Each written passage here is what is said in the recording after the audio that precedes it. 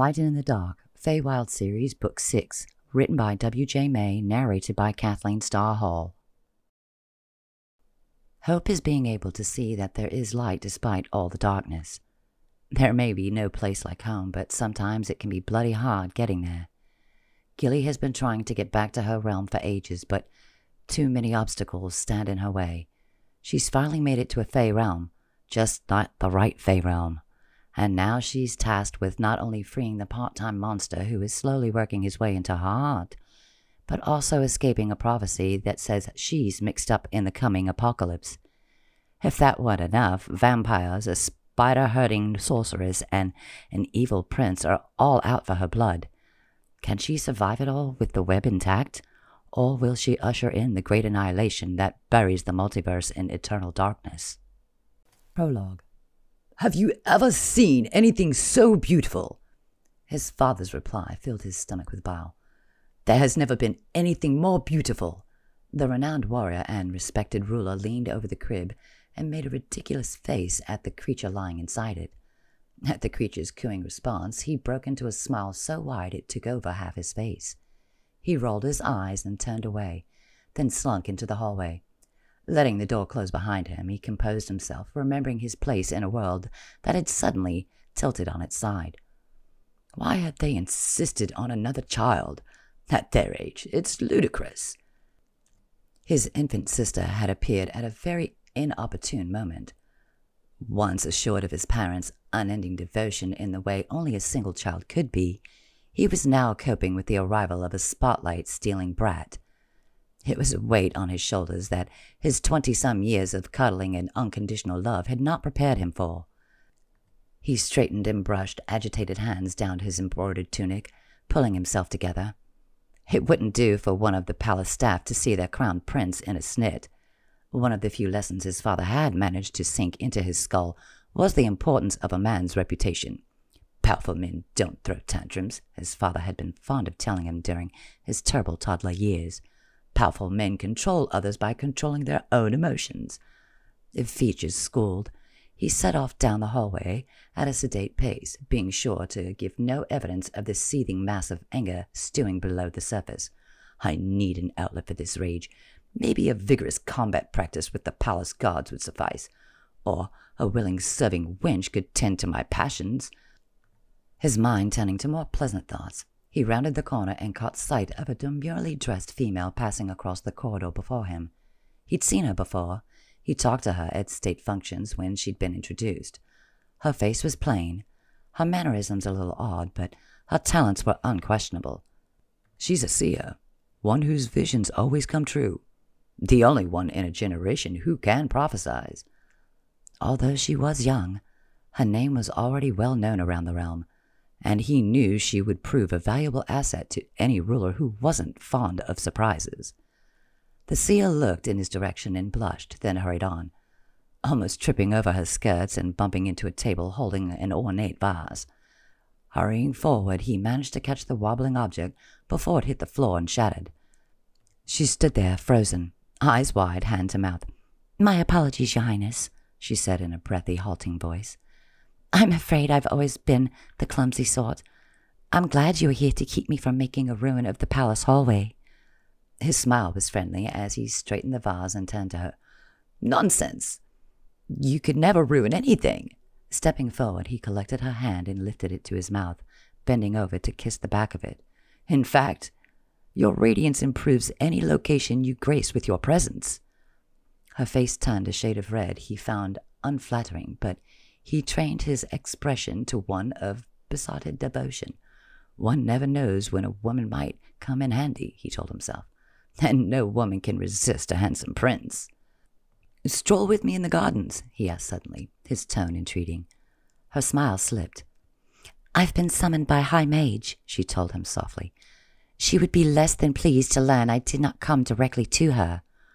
Let me handle the High Mage, he said with a wink. She's a good friend of my mother.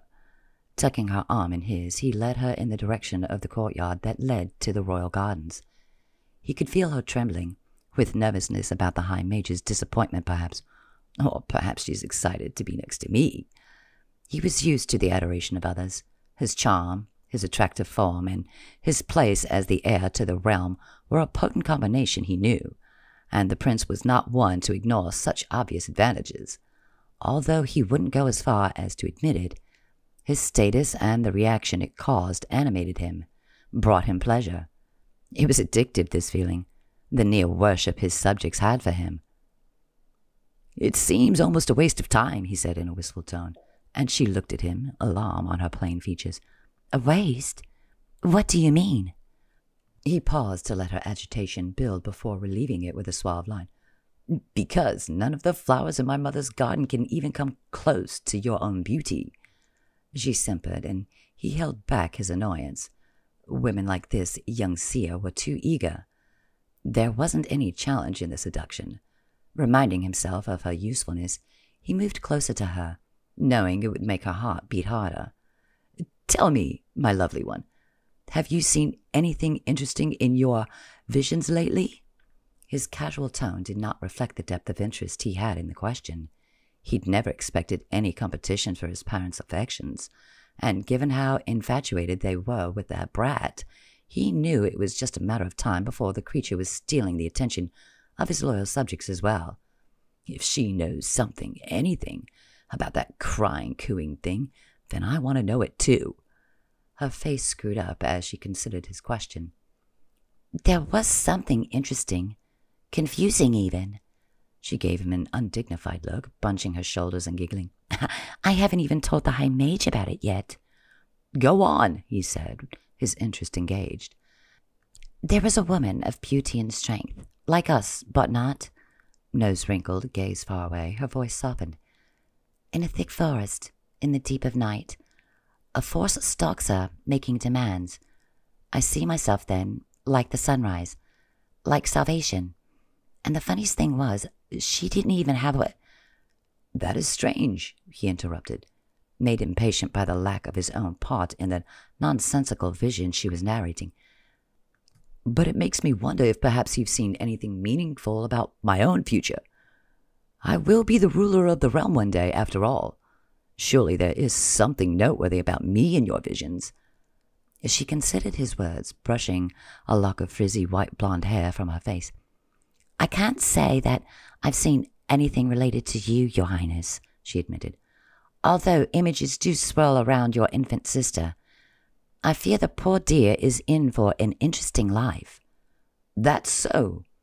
His disappointment nearly swallowed the polite persona he was clinging to. That horrible little pest stealing my thunder. The knowledge that fate had something in store for the creature solidified the hatred he felt toward the infant. Then again, maybe I could use that to my advantage. He led her through the archway and into the courtyard where a large stone fountain stood, a statue of a female in a gauzy gown pouring water from a large jug, contributing to the peaceful atmosphere. The fountain served as the entrance to the gardens, a stone path taking them between tall, carefully manicured hedges that flowered with small pink blooms. Deeper they went until they were entirely alone in the fragrant oasis, he led her to a stone bench surrounded by blooms with a small pond nearby, the sound of trickling water combining with bird song to create a pleasant soundtrack in contrast to the conversation he planned to start. These images you see relating to my sister, he started, his hand taking hers as he leaned in intently. Is there anything dangerous among them? She stared into his eyes, distracted by his handsome features. Dangerous? He nodded, cupping her face and stroking her cheek with his thumb. Something that might represent a risk to the realm. The seer bit her lip, her eyes filling with arousal at their closeness. Although he appreciated the response he invoked in females, this one did little to kindle his own urges. Releasing his hold on her so as not to distract her further, he waited patiently for an answer. He watched as she tucked a lock of hair behind her ears and let out a deep breath. It's difficult to say if something will turn out dangerous or not. I can scarcely interpret the symbols I see, let alone guess what the future holds for our little princess. He detested the sweet smile gracing her face as she thought about the creature that had so captivated his parents, but he managed to mask his revulsion. I guess only time will tell if there would be a risk to the realm in what I've seen, she finished with a shrug. Disappointment flooded him, but he refused to allow her to see it. That is good to hear, I suppose. The seer might seem useless now, but as she said, only time would tell. She might end up providing the catalyst he needed to see that the little pest would not be allowed to upset his plans. Enough about my sister, he said, changing the subject. Where did you get such a handsome scarf? You like it? She beamed, holding out the monstrosity for his admiration. The colorful scarf was the tackiest thing he'd seen in the palace he'd grown up in. It's like a rainbow threw up, and she sees fit to wind it around her neck. I knitted it myself. Enchanting. He was already weary of spending time in the woman's presence, so he stood taking her hand. Although it pains me to say it, I've promised to assist my mother this afternoon while she ministers to the less fortunate among us. He leaned over to press another kiss to the back of her hand. I hope we will meet again soon. My heart will not beat the same until we do. Oh, Your Highness, she simpered, letting out a high pitched giggle that offended his sensitive ears. I will count the hours. He stood, made an elegant bow, then turned away, heading deeper into the garden toward a small door in the wall that led back into the palace. Frustrated by the seer's lack of concrete knowledge, he thought briefly about stealing the infant away and passing her off to a loyal guard to deposit somewhere in the rough. However, the risk was too great, as he couldn't have word of his deeds get back to his parents. Not if I want to remain their heir. I'll find some way to banish the brat, he told himself, before she's able to win over the hearts and minds of my people. This kingdom is rightfully mine, and I'll be damned if I let an idiotic infant take it away from me. Sliding through the doorway and into one of the narrow passageways frequented by the palace staff, he found himself headed toward his favorite serving wench, a sturdy girl who was almost as lusty as he was. It would be a palate cleanse after the plainness of the seer, and she would help rid him of the foul temper now plaguing him. I'll bless the girl with my royal presence then figure out a way to get rid of my annoying little sister later. After all, time is on my side. The little creature can't even speak yet. By the time she's old enough to matter, I'll have turned the realm against her. With an evil chuckle, the prince continued down the hallway and deeper into the bowels of the palace. Chapter 1 I might have considered once or twice how it would feel to know that an apocalypse was coming but I never thought that I'd be the one who'd herald the end of everything. Gilly's face sank into her hands as she struggled to come to grips with what she'd just seen. The temple complex was quiet around her, the Fae that had led her here having crept into the night, his wings stiff, leaving her alone to contemplate. Gilly sat on the marble steps, out of the circle of light from the burning braziers, and wondered how events had led her to this place. Her mother is at the center of all this, she thought. Just like she'll apparently be at the center of the whirlwind that destroys the multiverse as we know it. Elspeth, Queen of the Fae, and creator of her home realm, hadn't been what one would call a model mother. Still, despite her stifled resentments, Gilly could understand why her mother had made the choices she had in her misplaced battle against her consort Lyra. But no one could justify bringing about the apocalypse, no matter how much Gilly wanted to adore her mother. She wiped at tears that couldn't seem to stop flowing. She'd always been one to downplay her emotions, to shove them into a hole inside herself and ignore them to get the job done. The crone had pushed her when she was younger, pushed her to be strong and put her duty first. She'd kept these same traits as leader of the wildling forces and in her service to the winking hand. The fighting force comprised of the Wildling Fae's strongest magic users, but she wasn't able to control her feelings anymore. The exhaustion of her kidnapping and escape attempts overwhelming her general stoicism. How long can I be expected to keep moving, to keep fighting, to find my way home in the face of insurmountable odds? How can I succeed when it seems everyone and now everything is against me, and maybe for good reason? She was thinking peacefully about the role she was supposed to play in bringing about the great annihilation, the destruction of everything good in the multiverse she and uncountable others called home. At that moment, the image of Solomon popped into her head, and she remembered how she'd forced him to obey her commands by placing a silver ring on the dev's finger. Solomon hadn't exactly played fair with her either, but that didn't assuage the guilt she felt at controlling his actions, both back on Ahrimanabad, the dev's home realm, or here in the Fae realm of Valencia. It's my fault he's here. If I had released him sooner instead of pressing him to stay with me, he wouldn't be imprisoned and about to be executed by a realm full of vengeful Fae. The sobs wrecked her, and Gilly felt weak. Although a sentence had not yet been passed on Solomon, she wasn't holding out much hope for a different verdict. And now the dev's only advocate was tied up in the destruction of this world, and who knew how many others. It's not like the Fae are going to appreciate my defending him, even if I am one of their own. I'm just as tainted as he is now. Are you planning on spending the night here? A voice called to her. Gilly smeared away her tears and blinked bleary eyed to see Phaedra coming down the path toward the temple.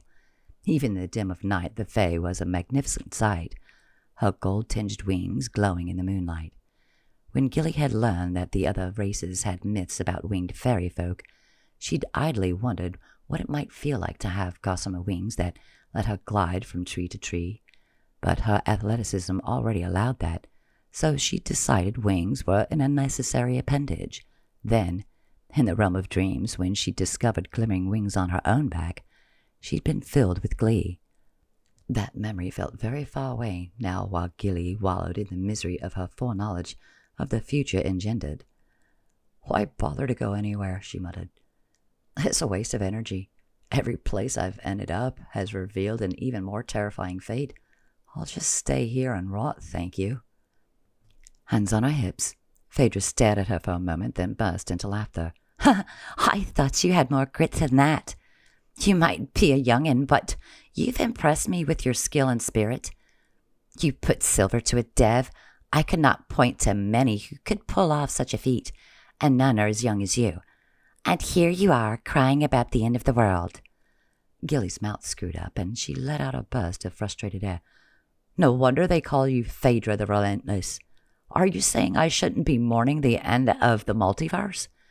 The older Fae rolled her eyes. This ain't my first apocalypse, babe, and it damn sure won't be my last. So pick yourself up and get down to the hard work of averting whatever catastrophe is waiting in the wings. She held up a finger. But first, how about you get some rest? You look like hellspawn at the moment. Gee, I wonder why that is, Gilly grumbled, but she stood, stretching muscles that had grown numb during her sojourn with self pity. Maybe it was being dragged all over a hell realm for days on end. When she reached Phaedra, the Fae put an arm and a wing around her. I know things don't seem so great at the moment, but you'll feel better after a good night's sleep. Gilly didn't answer. They walked through the Fae city, the darkness driven away by lights burning at intervals along the paths and walkways. Some were torches, candles, and lamps, while others were set alight by magical means. The mixture of stone crafted buildings and natural landscape, accented by both natural and unnatural lighting, made her wonder whether their own realm could resemble Valencia. If my mother and her consort hadn't been set at odds so long ago, perhaps our realm would be more like this one. The Fae realm that Gilly called home was much more polarized. Those who'd chosen to dwell in the cities had eschewed the wild forest she'd called home. These metropolises made of stone had fewer natural elements than Valencia's cities seemed to, and those who dwelt in them were fearful of the Fae wilds and unbridled nature. At the same time, wildlings like Gilly avoided the stone dwellers, seeing them as inferior and responsible for the destruction of the verdant forests that the wildlings called home. Here the winged Fae had not formed factions, and they seemed content living in their melded cities of both stone and leaf. Gilly felt a little pang of regret over what her realm could have been, had Roshan and Willa not decided to meddle there and set the realm on a course of war and hatred for millennia. This one's mine, Phaedra said, jerking her chin at what looked like to be a living lilac bush that towered above them. It took her a moment to realize a slender wooden door was tucked among the purple blossoms. Her hostess held the door for her, and Gilly stepped inside, her skin warming instantly at the heat of the fire roaring on the hearth. Two comfortable chairs faced the fireplace, and tucked beside it was what appeared to be a small makeshift kitchen with an assembly of crockery that looked as if it was seldom used. On the opposite side of the small wood paneled room was a narrow sofa occupied by a sleepy eyed human who waved cheerfully at her. You found her, Holly said in a warm voice. She was tucked beneath a quilt, having turned the sofa into a makeshift bed. I'm sure you'll be much more comfortable sleeping here than outdoors, she said, then yawned heavily. Gilly nodded, then followed Phaedra up a narrow set of stairs that looked like they were somewhat composed of the bush's root system. Bedroom's up here, the elder Fae said over her shoulder. It's small, but functional enough. The room turned out to be about 100 square feet, with only a bed large enough for one, a dresser with a basin atop it, and a small half-empty closet. You take the bed, Phaedra said, gesturing toward it. Then where will you sleep? she asked, confused. I rarely sleep in beds now. I've gotten too used to sleeping rough. Phaedra plucked a blanket from the top of her closet and tossed it onto the floor. I'll be fine down here. Gilly sat on the bed and watched the other Fae sink to the floor, her wings curling around her in a sort of cocoon. Guilt pricked at her for taking Phaedra's bed, but the Fae didn't seem to mind, and exhaustion caused her eyes to close. She settled into the bed, and moments later sleep claimed her. It was not a dreamless sleep. Thoughts of Solomon still swirled in her unconscious, it seemed, and before Gilly realized it, she found herself standing on a sand dune. A darkly handsome figure stood a few paces before her, looking to the distance where a deep forest stretched for as far as the eye could see. She approached the familiar figure, stopping beside him. Solomon turned to her, his face sad. I don't belong here, do I? he asked, motioning to the forest. Gilly didn't know how to answer his question, but it turned out to be rhetorical. I may not belong there, but I am going to die there. There was such finality in his tone that her heart ached for him. You can't say that for certain, she told him, shaking her head. You've been up against horrible odds before. These Fae will not hesitate to spill my blood, he said, his tone turning vicious and filling with hatred. Let's not forget you were planning to sell not one but two Fae into slavery then showed up unexpectedly in their realm? You can't blame them for being frightened of someone they've considered an enemy for eons. His face screwed up with anger. So, you want to punish me too? Is that it? Your friend dragged me into this realm. I didn't come here willingly. Gilly held up her hands in a gesture of surrender. I don't want to punish you, and I'm not trying to justify their actions. I'm only trying to get you to see it from another perspective. I'm not saying that perspective is right, but if you don't calm down, we'll never find a way out of this situation. We? Haven't you gotten everything you wanted? You're free of the Hell Realm. You're among allies. What's to stop you from walking away now? His expression was neutral, but Gilly could tell the question held emotional weight. Because I'm not some soulless acorn hoarder, that's why. I feel somewhat responsible for your current circumstances, so I won't leave you to rot, or worse. Gilly's sigh was heavy. Just try to calm down and use some of that charm of yours. You might avoid bloodshed if you do. Solomon turned to her, looking her over with new eyes. What's with these? he asked, then touched a finger to the tip of her wings. She shivered at the contact, then realized she was dreaming. I must have fallen into his dream because I was thinking of him earlier. When she didn't answer, he asked another question. You think I'm charming? Sometimes. You can be a handsome, persuasive devil when you try. Solomon smiled in response. I'm not a devil. I'm a dev. He leaned in, pressing his lips against hers. Soft at first, then the pressure increased, and her muscles turned to liquid. He wrapped his strong arms around her, deepening the kiss until her toes curled. It was a sultry, slow build of a kiss, and Gilly was caught off guard by the surging swell of heat inside her. She clung to him, taking everything he gave her and wanting more. Her fate could get used to this, she thought, winding her arms around his neck. Hopes for a future with the dev at her side filled her, shocking her rational mind back to the present. Gilly woke up suddenly with a gasp, clutching her chest. Phaedra's head poked over the edge of the bed suddenly. You okay? Not at all, Gilly gave a nod, her voice hoarse. Just a nightmare. Phaedra nodded and returned to her bed on the floor, while Gilly felt embarrassment flood her. It was a nightmare, she told herself. Isn't that what a dream you can never have really is? Chapter 2 Solomon was waiting for her the next morning with an insufferable smirk on his face. I wondered if you'd show up here today, or if you'd lack the courage to face me. She'd been prepared for this reaction. Having figured out she was in his dream, Gilly knew he wouldn't be able to keep silent about their intimate interaction. She was the one who didn't want to engage on that particular topic, so she ignored his opening salvo. How is it here? she asked, peering into the cell he occupied. Your accommodations could be worse. Filigree bars of shiny silver stood between them.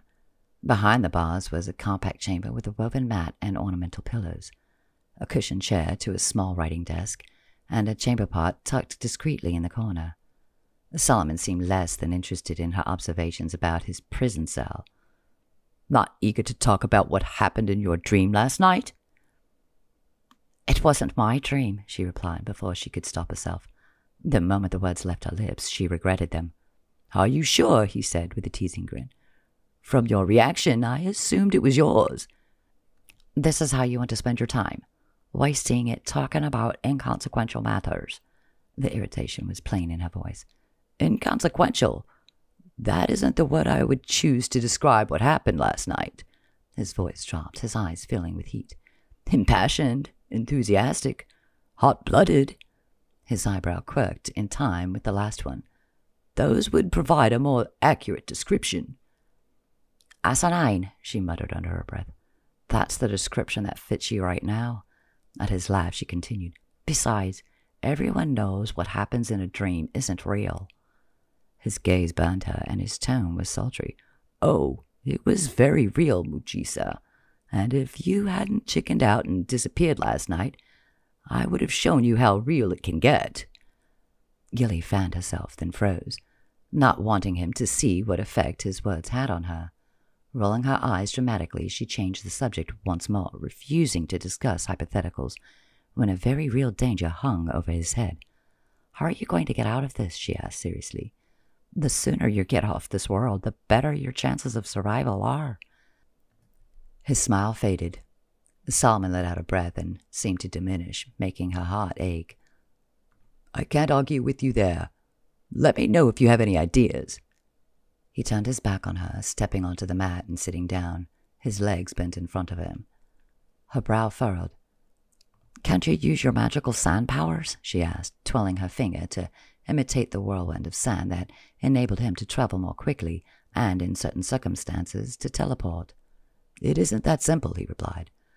I could only use my powers to teleport to my family's estate, and since I've now given up its claim to Mace, I no longer possess that power. He's the guardian of Deep Sands now. The magnitude of his actions on Ahrimanabad reverberated through her, now that she realized the sacrifice he'd made when giving up his claim to the family estate. You have no more powers? she asked, her voice coming out as barely more than a whisper. My innate dev powers remain, he said stiffly, pride making him lift his head.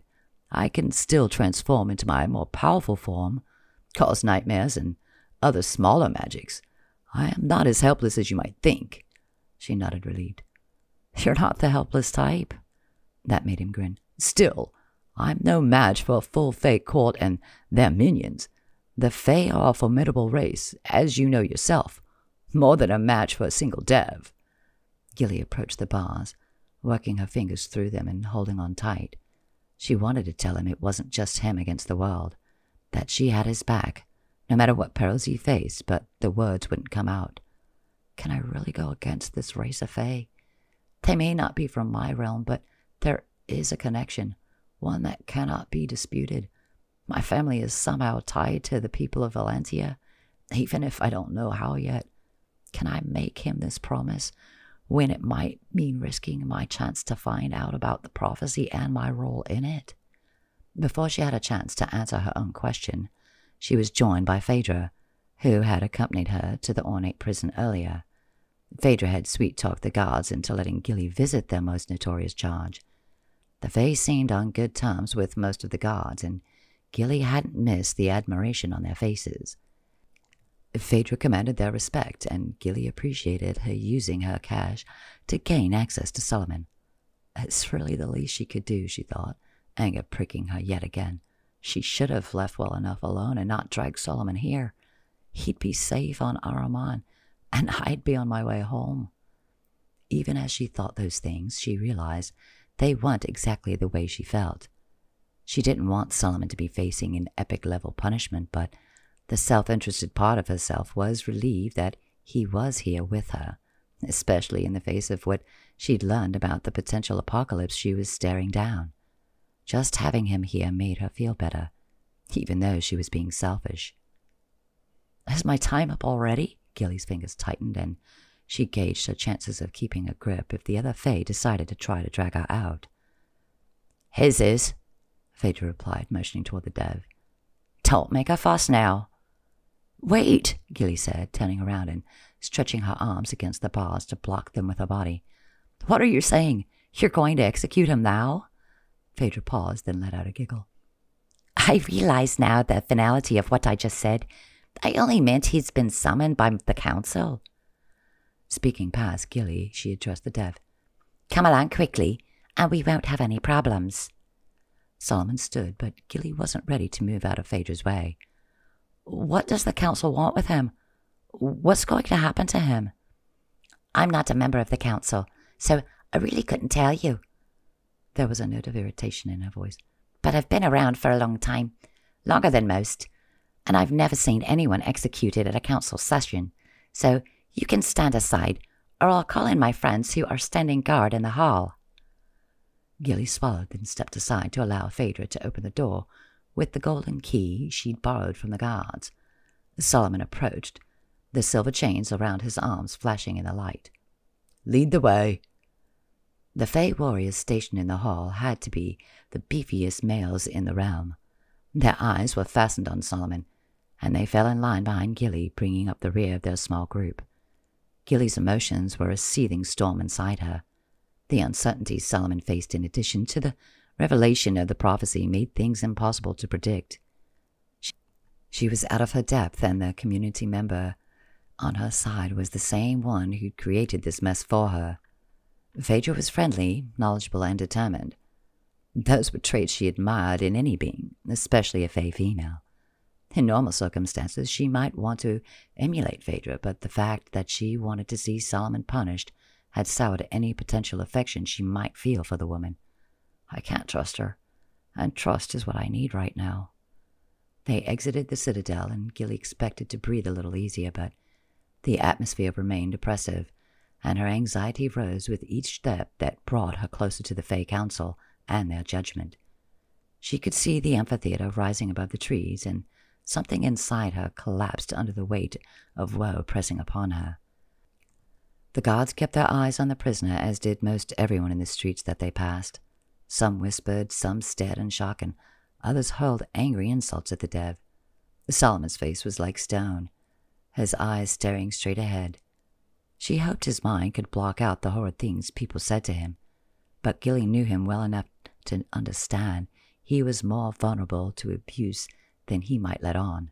He's strong, she told herself. He'll come through this. At least it's only insults they're tossing and not spears. But deep inside, she knew he'd be struggling. After learning about his childhood and the trauma he suffered at the hands of his brother on the family estate, and all the pain and suffering that followed, she was surprised Solomon was capable of compassion at all. But he is capable of that emotion, and so much more empathy, courage, understanding, love. Gilly shook the thoughts from her brain like raindrops from her hair. They were entering under the arch and into the amphitheater's half circle, facing rows and rows of seats that climbed before them. Over here, Sandman, Phaedra said to Solomon, jerking her head in the direction of the petitioner's square, facing the dais where the council would sit when they arrived. The seats were already full to bursting, and Gilly approached them with a sigh, not looking forward to being part of the press. The front row was full, but when she approached with a glare, a hole appeared, the Fae on either side, skittering away so she had ample space to sit. Gilly folded her legs primly, her attention trained on Phaedra and the Dev.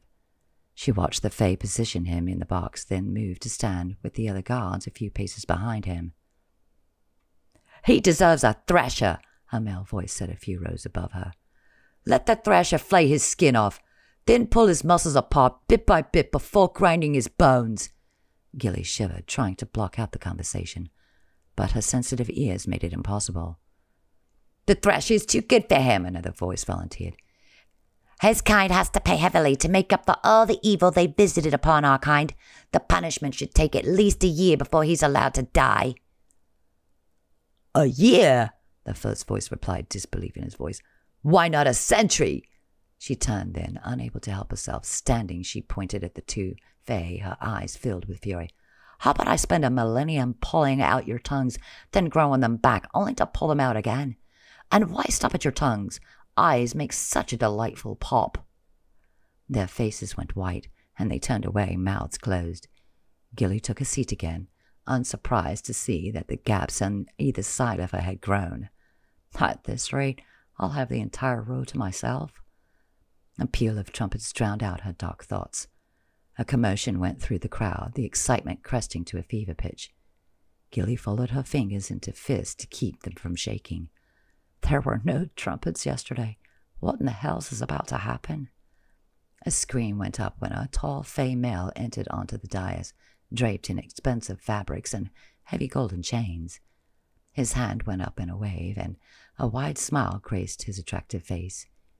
He made stately progress to the center of the table and took a seat there, clearly enjoying the crowd's adoration. It took several moments for the residents of the realm to calm themselves long enough for Gilly to get a good look at the man who'd earned such a huge reaction. His eyes were a light brown that turned golden in the light, and his hair was dark blonde with red highlights that crackled like firelight. His features were symmetrical, his ears pleasantly pointed, and he was obviously a person of power in the realm. There was something about the total package that had her scratching her earlobe. All right, he said after a time, his tone melodic, magic somehow allowing it to carry easily into the crowd. Thank you for such a warm welcome. Perhaps I should show up to these kinds of things more often. Another cheer went up, the crowd ecstatic. But not Gilly.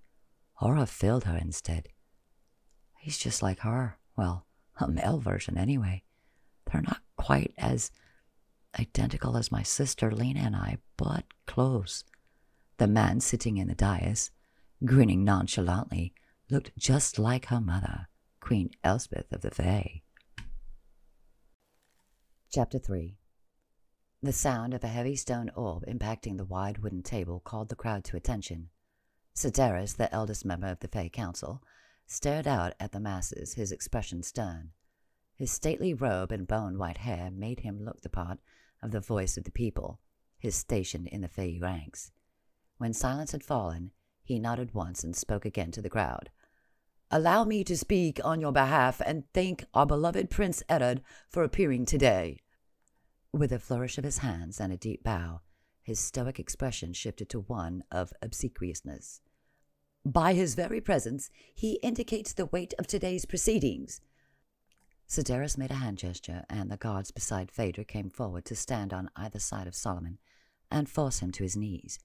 Gilly's chest tightened, and part of her thought the Dev might try to take his alternate form, mutating into an over nine foot tall monster with tusks and bulging muscles. Her breathing slowed when she realized Solomon might be taking her advice instead. Although anger was visible in the lines of his body, the Dev remained calm. Would you like to inspect the accused, Your Majesty? Sedaris asked. It seemed like he couldn't stop himself from bowing at the end of every sentence.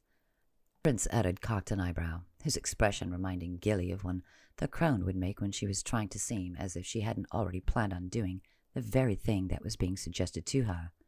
It was eerie and made her ears itch in discomfort. The handsome Fae stood, and she heard swoons from some of the females in the audience. Gilly couldn't blame them for the simpering.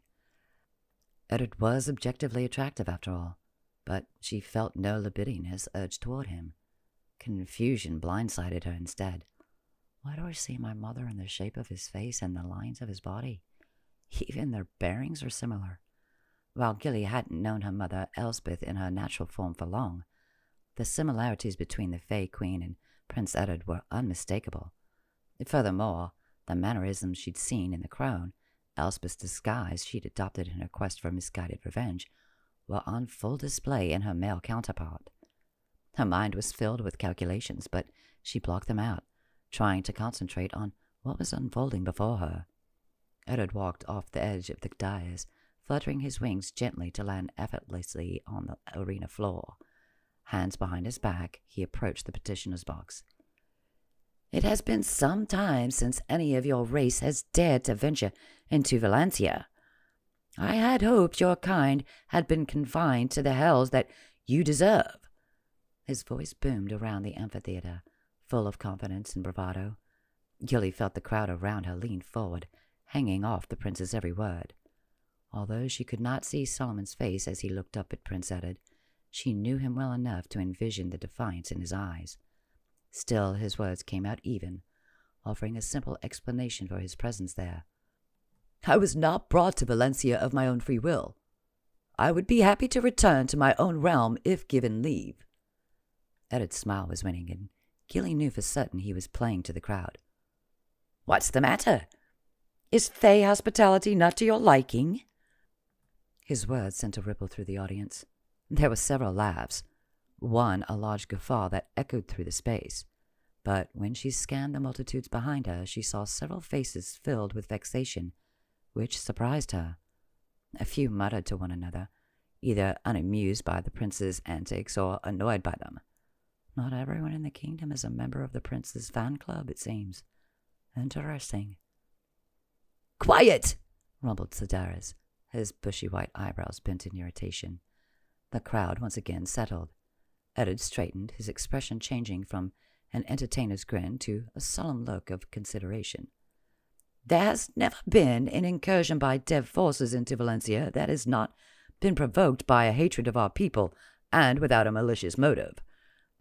You could see how it might be hard to believe your appearance here is anything other than to plan. By that, do you mean it was the plan of your operative there to abduct me and bring me here against my will? Solomon matched the prince's tone, his delivery matter of fact. He jerked his head in Phaedra's direction. I had no intention of visiting your realm, nor am I part of some vast conspiracy to bring chaos to your realm. You claim it was an abduction, but our operative, as you call her, tells a different story. Edward motioned toward Phaedra, calling her forward. Isn't it true that the dev abducted you instead? Gilly's hands clenched against the fabric covering her thighs. It seemed someone had filled the prince in on Phaedra's testimony when the council had confronted her the day before. The way her story had played yesterday made Gilly's anxiety spike. It would take very little to turn the crowd against the dev, which she had no doubt the prince would encourage. Please tell your liege about the events preceding your arrival back to Valencia, Edward requested in an even voice. From her position, Gilly saw Phaedra's profile, and she thought the woman's face stiffened at the wording of the prince's request. But it didn't stop the Fae female from responding confidently. I had been assigned to the rough, but treachery led to being transported off-world. I found myself in a hell realm, thrust into a situation in which I was outnumbered, Iron having made my powers inaccessible. Gilly was familiar with the woman's story, having lived it herself, but the audience ate up every element listening as Phaedra recounted their tale, from the slave market to her valiant escape. Feeling conflicted, anger and admiration warred within her. I want to like Phaedra, to be like her, but her perspective is limited. It reminds me of my thirst for revenge against the stone dwellers. Thank goodness Lena convinced me to see things in a different light. But how could Gilly convince an entire realm to forgive an enemy they've been fighting against since time immemorial? There has to be a way, she thought, her eyes returning to Solomon, who stood unmoving. His shoulders were broad and strong, but she knew they carried a weight too heavy for anyone, no matter their strength. So, the accused state his intention to deprive you of freedom? Eddard asked. More than stated. He marched us across the sands, intent on selling us for untold riches. If the sandstorm hadn't cropped up, we'd be in the possession of one of the princes of darkness. A ripple of shock and unease rolled through the crowd, which seemed to be what the prince expected. Terrifying, he said, shaking his head in distress. But in the interest of equity, is there anyone who can corroborate your tale? Elsewise, it is your word against his. Phaedra nodded. There was a human in my company the entire time I was in the Hell Realm. She can validate all that I have said. This time, when Holly appeared at Phaedra's side from thin air, Gilly was expecting it, having seen it happen to Phaedra the same way yesterday.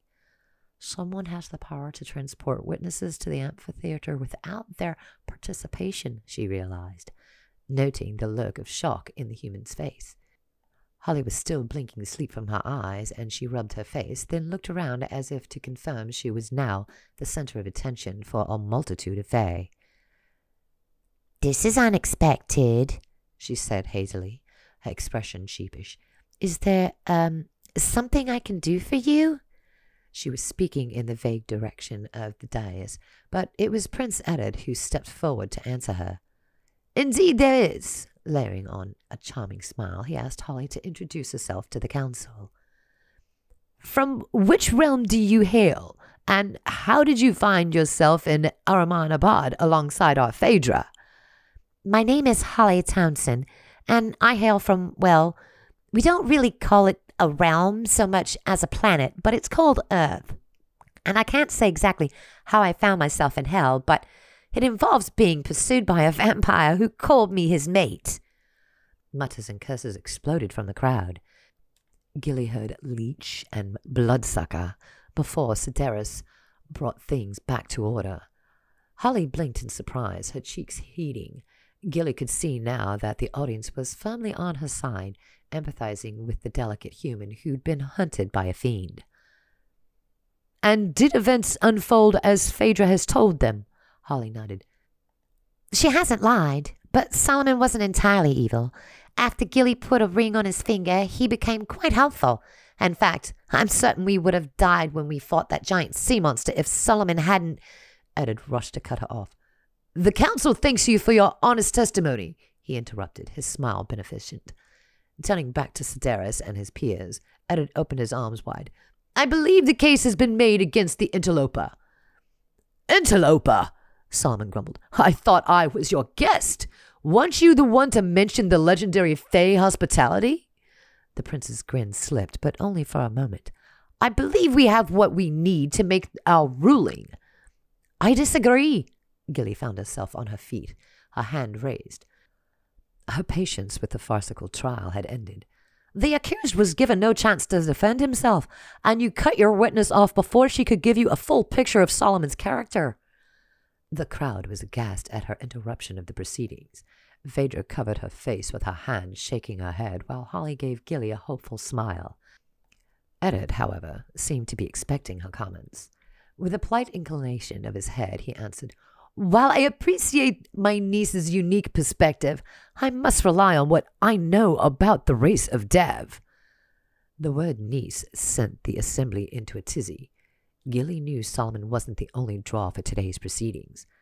After Sedaris' statement about the prophecy the day before and the sudden end of the council's meeting, Fae of the realm were eager to learn more about the unfolding drama now that they'd realized she wasn't only a foreigner and a Fae without wings, but also a member of the Fae royal family, the audience wasn't sure how to feel about her.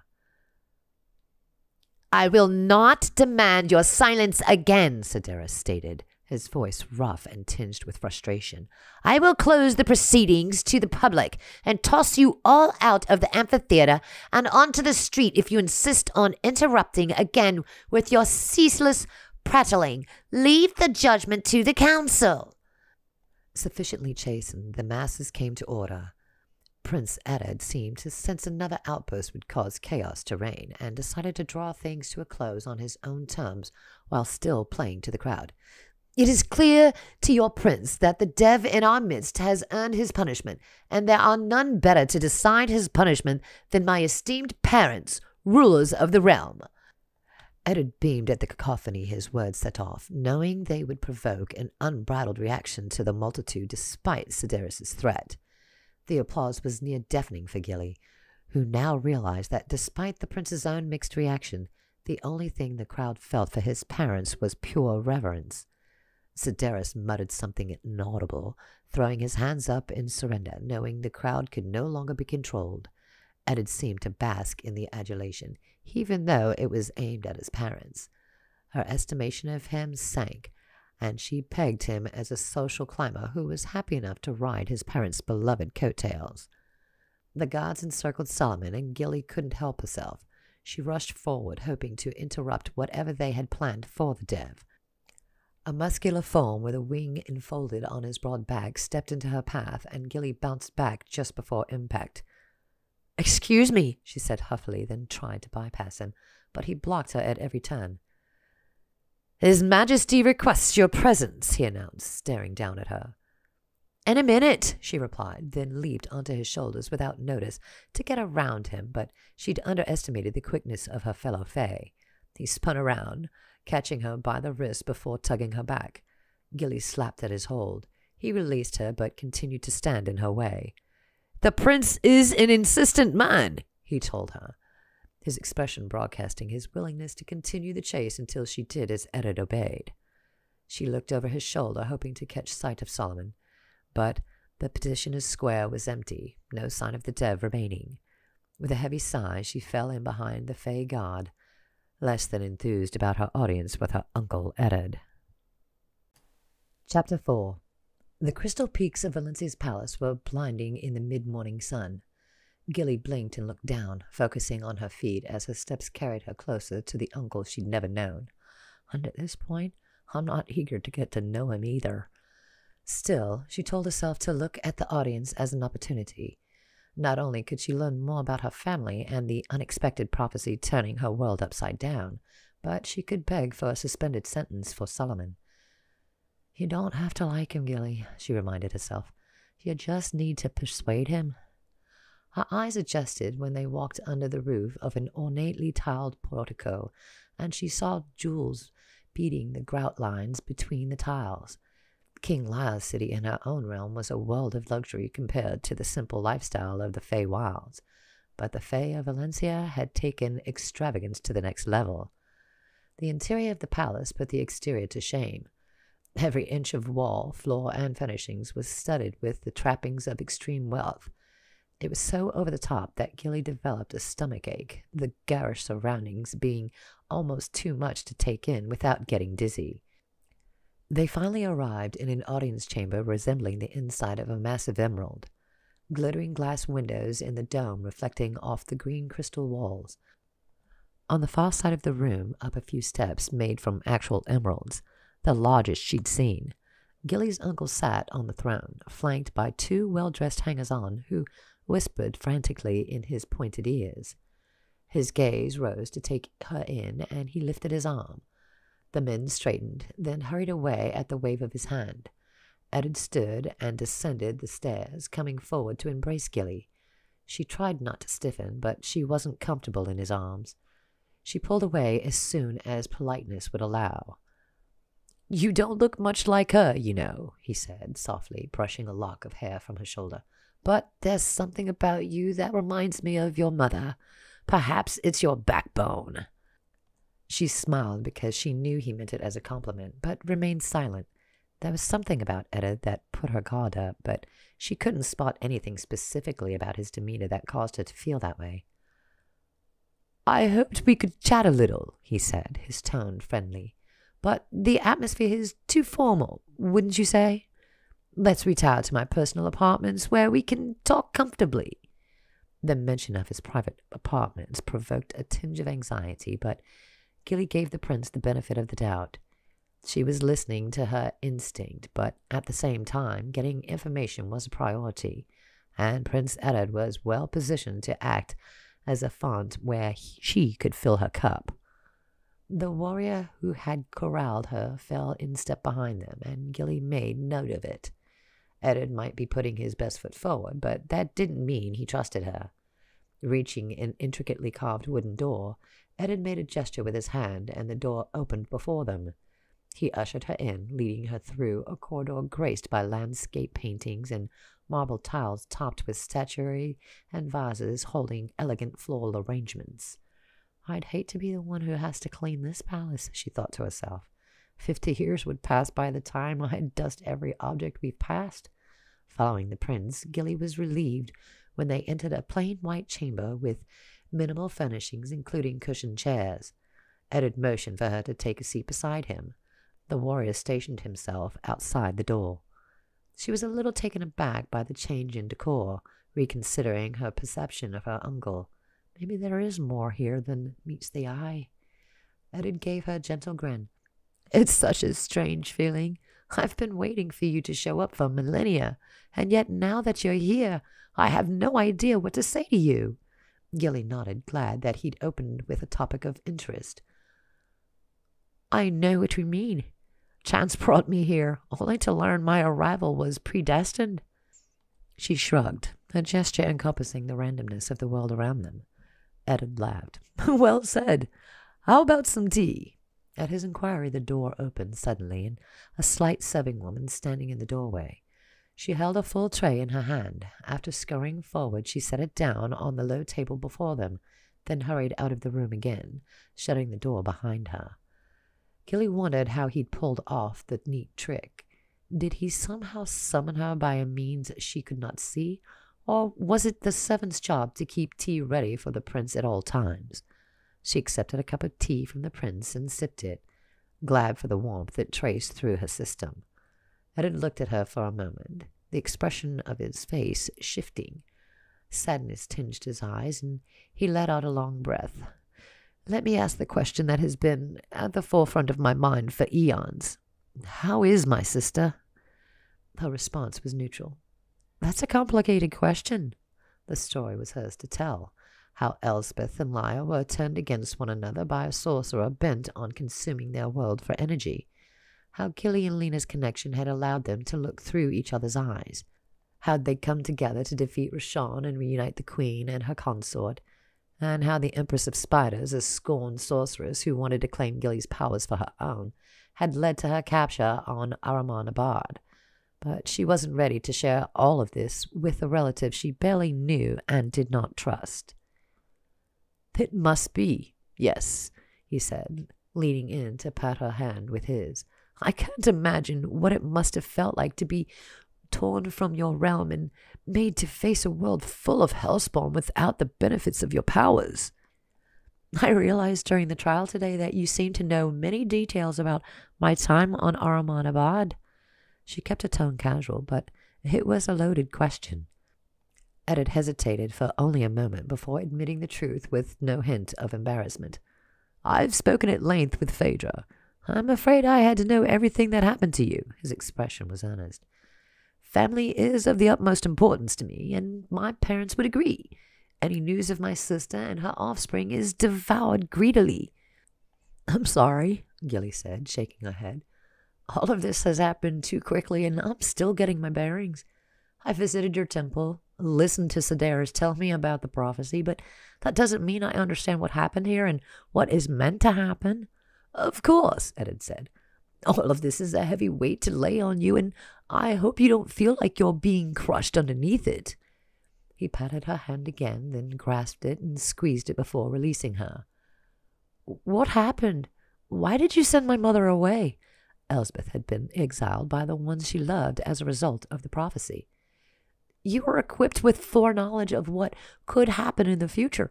Why not work together to try to avert the coming apocalypse? He hung his head. I wanted to badly, but the High Mage was the greatest seer in Fae history. What she proclaims always happens exactly as expressed. The only hope we had of breaking the prophecy was to send her away. Gilly's brow furrowed. That doesn't make sense. If working together couldn't avert it, then how could sending her away? This was not an easy decision for any of us, Eddard said stiffly. My heart is permanently cracked, and it cannot be mended until my sister returns. When she does, she'll destroy me, my parents, and the entire realm. She felt the anger radiating from him. Then why aren't you sending me away? I'm the harbinger of the great annihilation, after all. Send me away and let me take the dev with me. His features tightened. Do not make light of the situation. You are asking me to ignore the long history between the Peris and the Dev. Peris? Gilly was confused. What is that? A Peri is a Fae in the foulness that is the Dev tongue. Our ancient foes, they are diametrically opposed to everything fundamental to our race. We are the light and they are the darkness. His gaze searched her. Do not be seduced by the darkness, niece. You cannot paint every member of a race with the same brush, uncle, she countered. Surely you do not believe that no Fae has ever acted with evil intent. Solomon is not my enemy. He helped me escape the Hell Realm, and he fought by my side. He does not deserve the treatment he's receiving at your hands. The prince shook his head sadly. This is a part of their power, part of their deception, he told her softly. He has convinced you he is not a threat, but it was he who took you to the Prince of Darkness. It was he who kept you in iron, and he only provided you help after you ringed him with silver. No, she denied his words, but his logic was persuasive. I know it may seem that way to an outsider, but you weren't there on our journey. I trust Solomon, and he has earned my forgiveness for his earlier treatment of me. She looked down, appearing contrite. I know we haven't known one another long, Uncle, but I am not the sort to make capricious decisions when it comes to evaluating one's character. I'm sure you believe what you're saying, he replied, his pat feeling patronizing this time. But you must trust your elders. With those words, he stood, straightening his embroidered tunic. You'll have to forgive me, but a prince's schedule is seldom empty. I'm afraid I'm due elsewhere. My personal guard will see you out. Eddard paused at the doorway and turned back, his expression once more formal. Keep a low profile during your time here in Valencia. Causing another scene like the one in the amphitheater today will not work out in your benefit. Although the prophecy is old enough to no longer be common fodder for gossip, they have notoriously long memories. Understood, she said, realizing he was giving her an order more than a suggestion. Good, he said with a sniff. I would hate for my people to cause you any disturbance over an ages old familial disagreement. Let us work to start anew. In time, they will grow to know you, to accept you. Until then, avoiding conflict is advisable. Gilly nodded, then watched him exit. The beefy warrior moved into the doorway after Ed had left, motioning for her to follow him.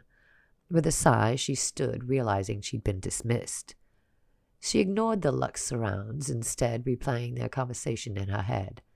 The conversation had been short and not revealing enough for her liking.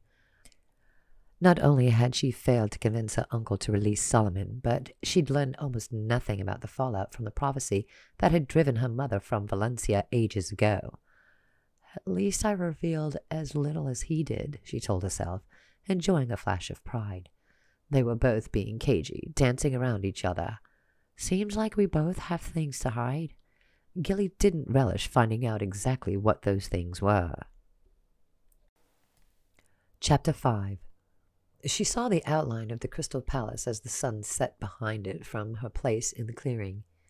Trees towered above them, but a wide boulevard in the direction of the palace had been sown with quartz gravel that glowed in the twilight as if it lit from the inside.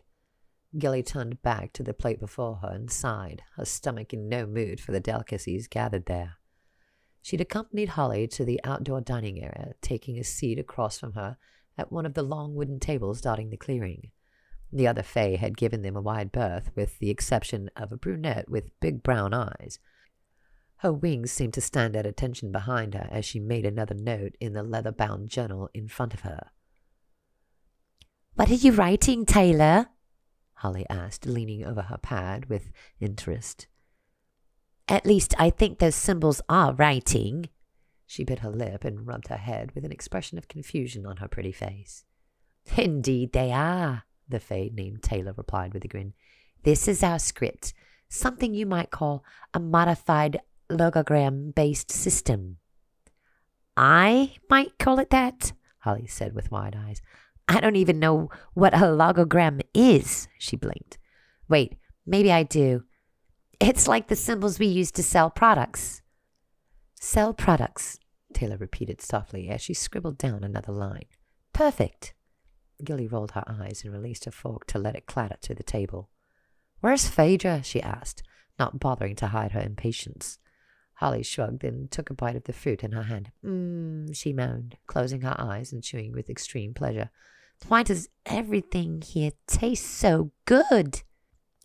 They have an innate connection to the land and are able to coax forth her fruits, their sweetest nectars, a tribute to our symbiotic affiliation. Gilly blinked at the winged Fae and pursed her lips. What's your deal, anyway?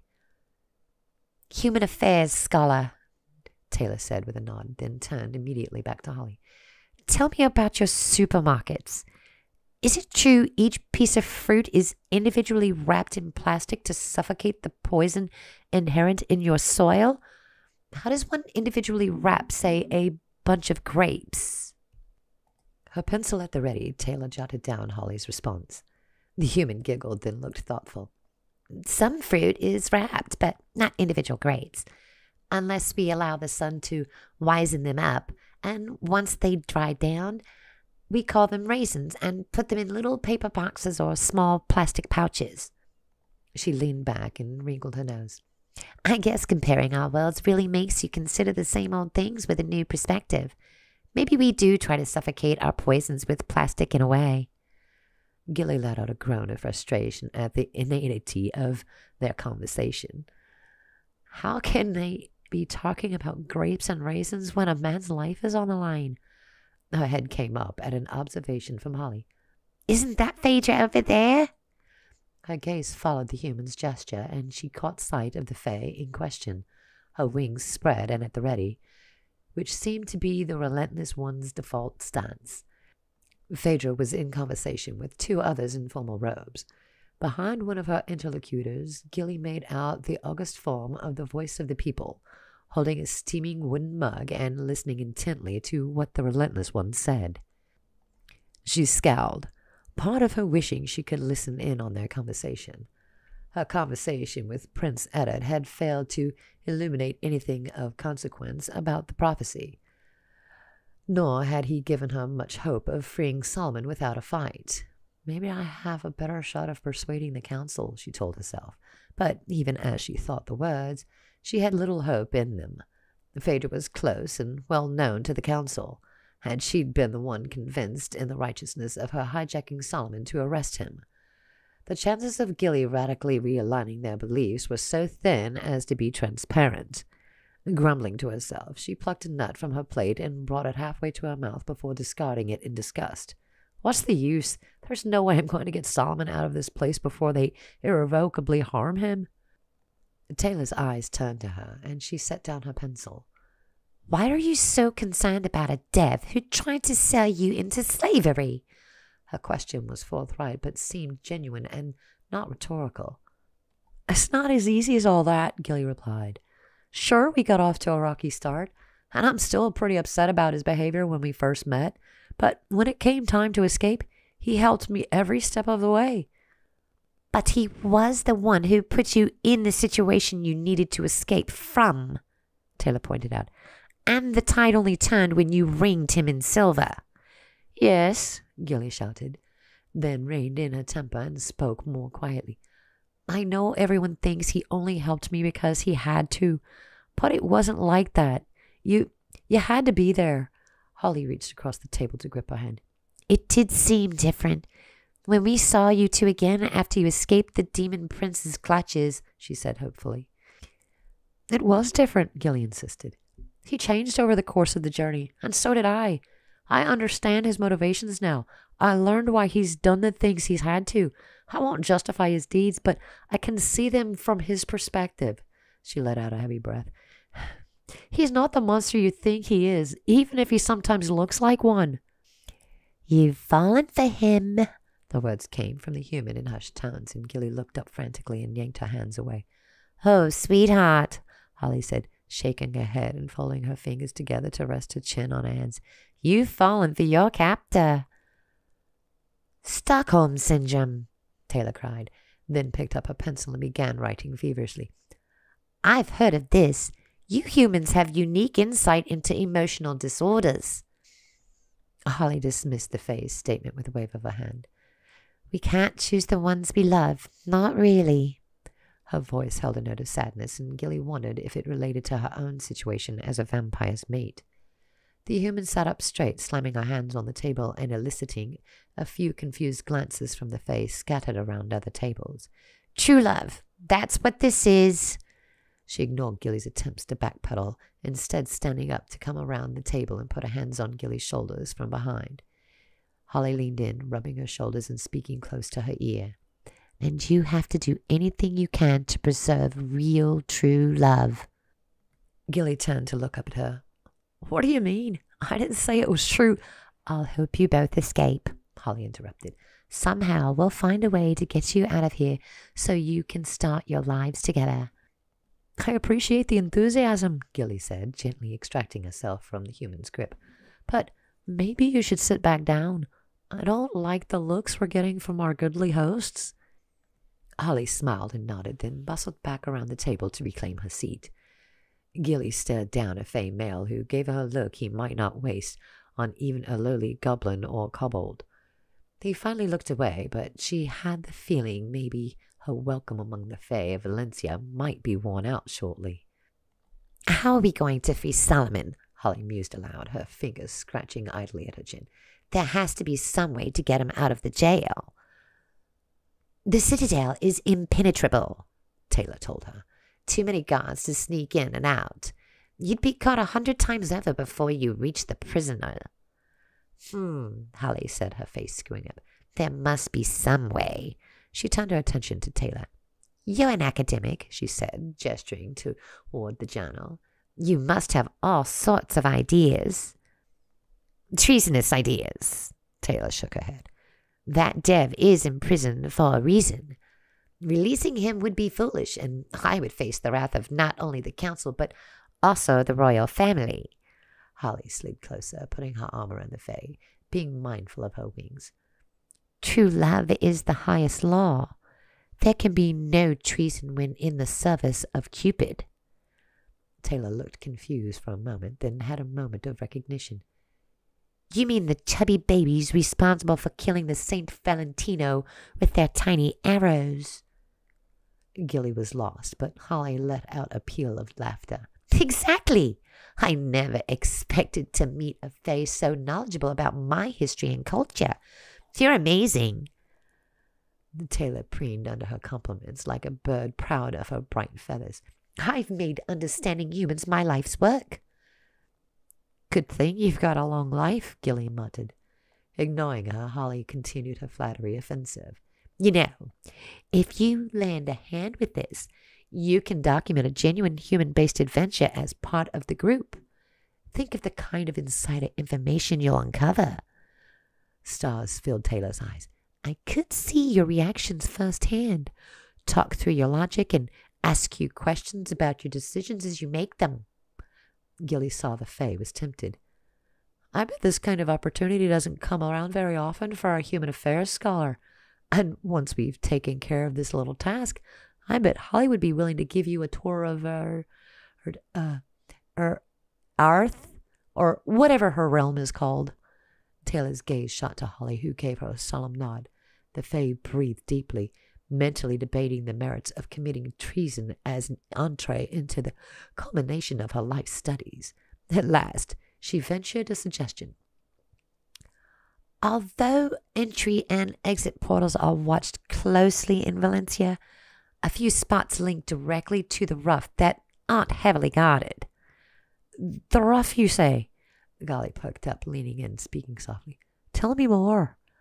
Taylor's gaze flitted back and forth, looking over the clearing for anyone who might be aiming a listening ear in their direction.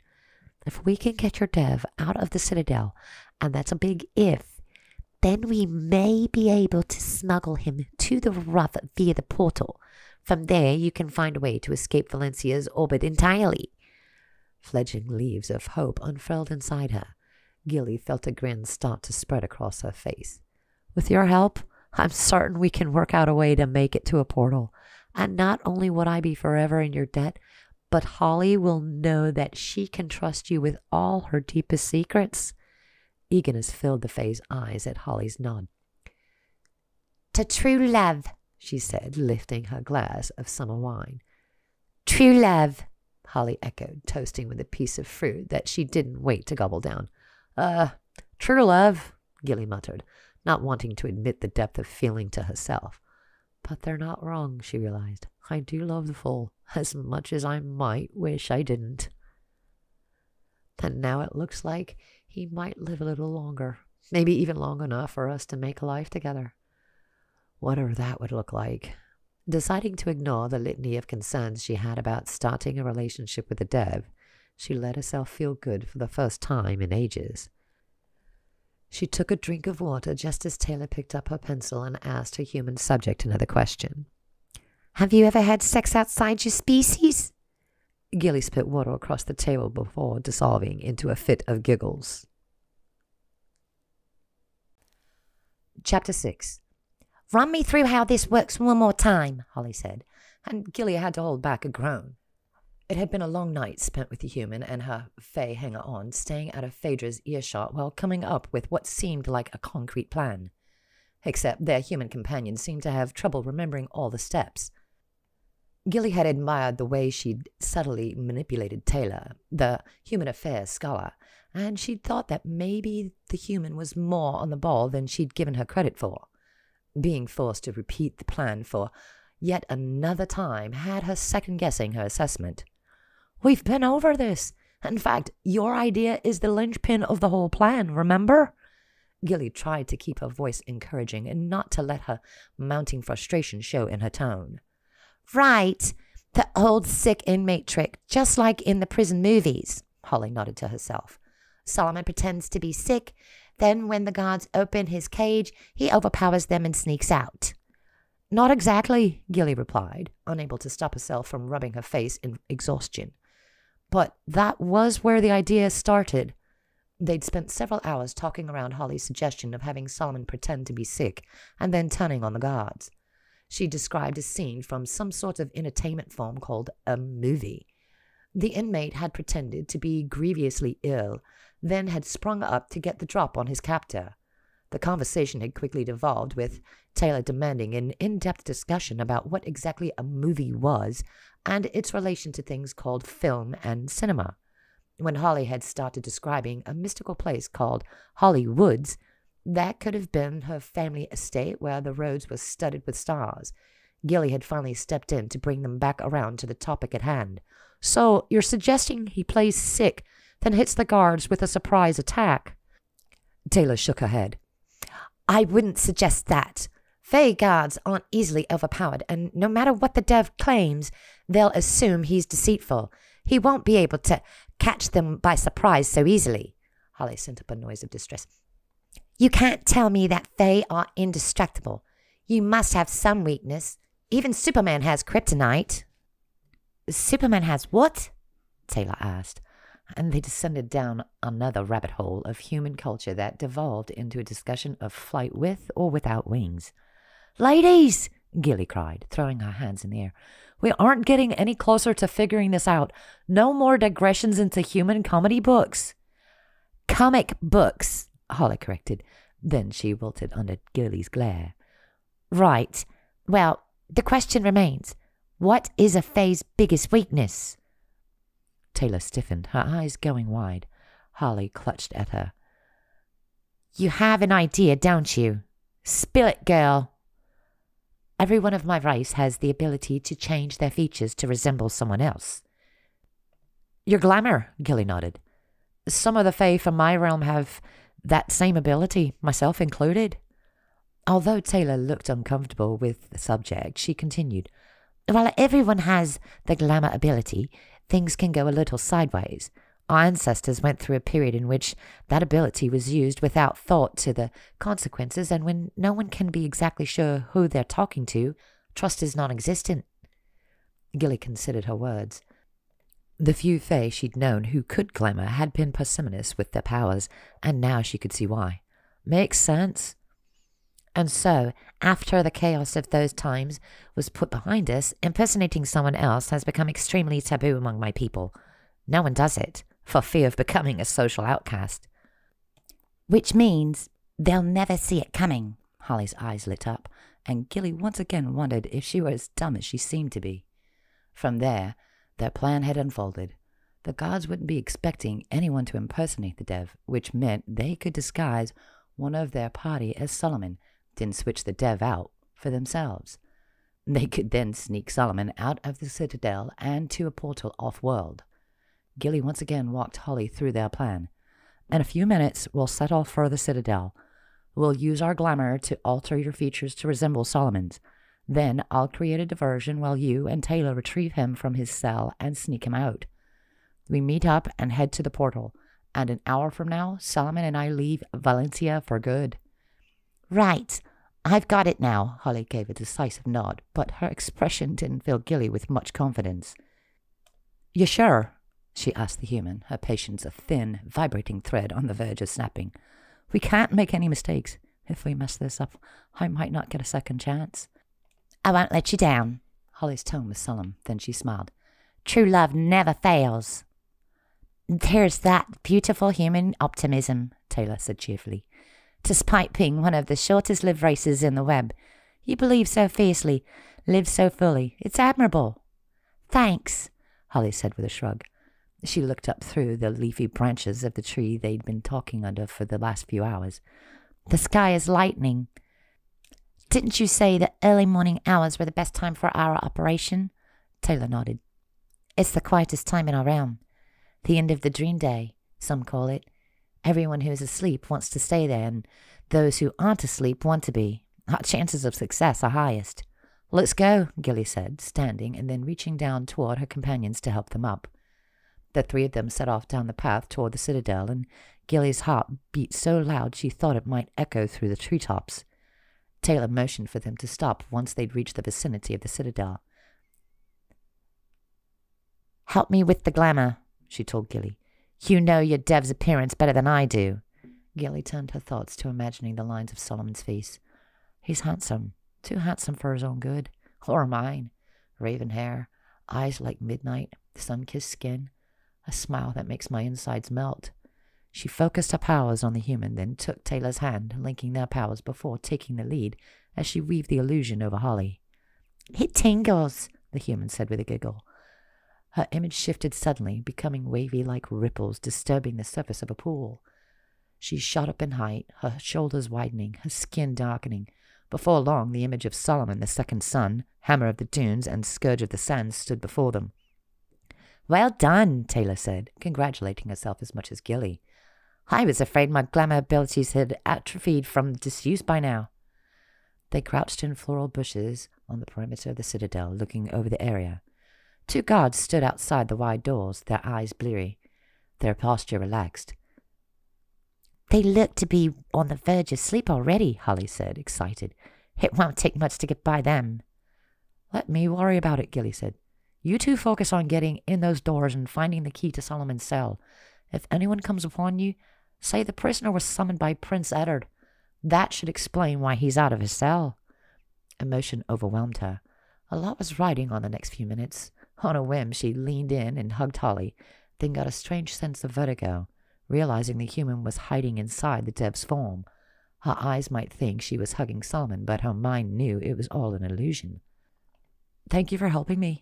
The cell isn't too uncomfortable, so just sit tight and wait to be discovered. The glamour will probably end the moment I transport off world, so be ready for that.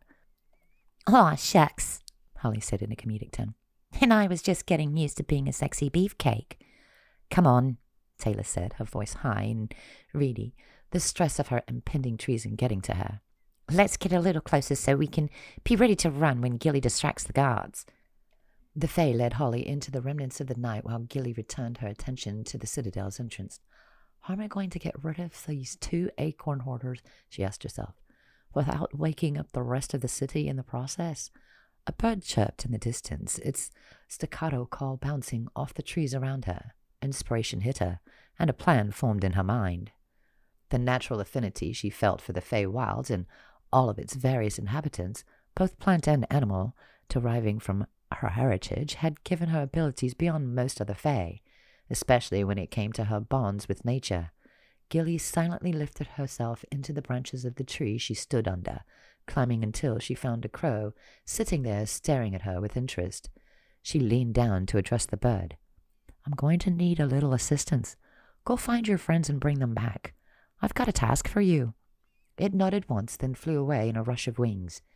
Gilly waited for it to return, counting the seconds and wondering if she'd attempted the wrong tactic.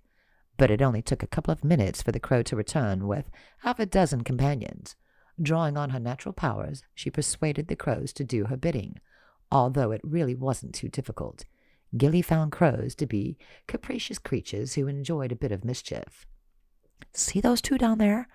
I want you to put on a show, distract them enough to convince them to follow you away from the door and toward that giant pine over there. I need you to make sure they're watching you and not what's happening at the entrance. Do you understand?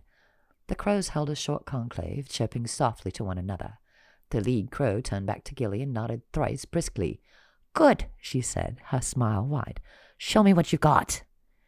Off they flew in formation, zooming down to stop suddenly and hover before the two guards, who blinked at them in surprise. You say that? One said to the other. I think those birds are trying to tell us something. Gilly slapped a hand over her mouth to stop herself from laughing in glee, as the crows set off creating different geometric shapes by flying in careful patterns.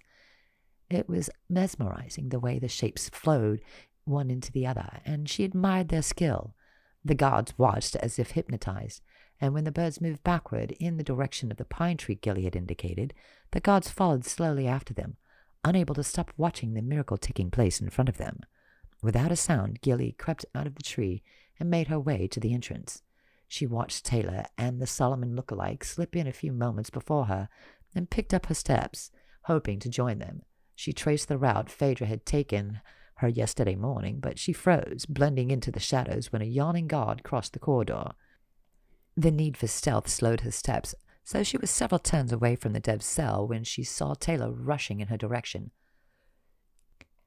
Turn around, she said in a loud whisper. Go back to the entrance. Gilly looked past the Fae to see Solomon turn the corner behind her. She couldn't be sure if this was the Dev himself or Holly in disguise, but by the look on Taylor's face, this wasn't the time to find out. She did as told, hurrying back in the direction she'd just come. When they rushed out into the night, Taylor risked speaking, her words coming out in a worried tumble. I don't know how long we have. The human is braver than any of her race have a right to be, but I think they might suspect something. Is it you? Gilly directed her words to Solomon, searching his face for any sign of whose consciousness was behind his dark eyes. Can't you tell? he asked, then winked. His hand on the small of her back, he propelled her forward. If I had time, Mujisa, I'd prove who I was by kissing you senseless before patting your behind. The human isn't the only one who's brave, but you take too many risks. Already complaining, and I haven't even gotten you off world yet? You must be Solomon, Gilly said, her tone laced with sarcasm. He chuckled, then hurried her forward after the Fae in front of them, who was sprinting through the trees. They snuck swiftly through the city, skirting buildings and any signs of Fae activity.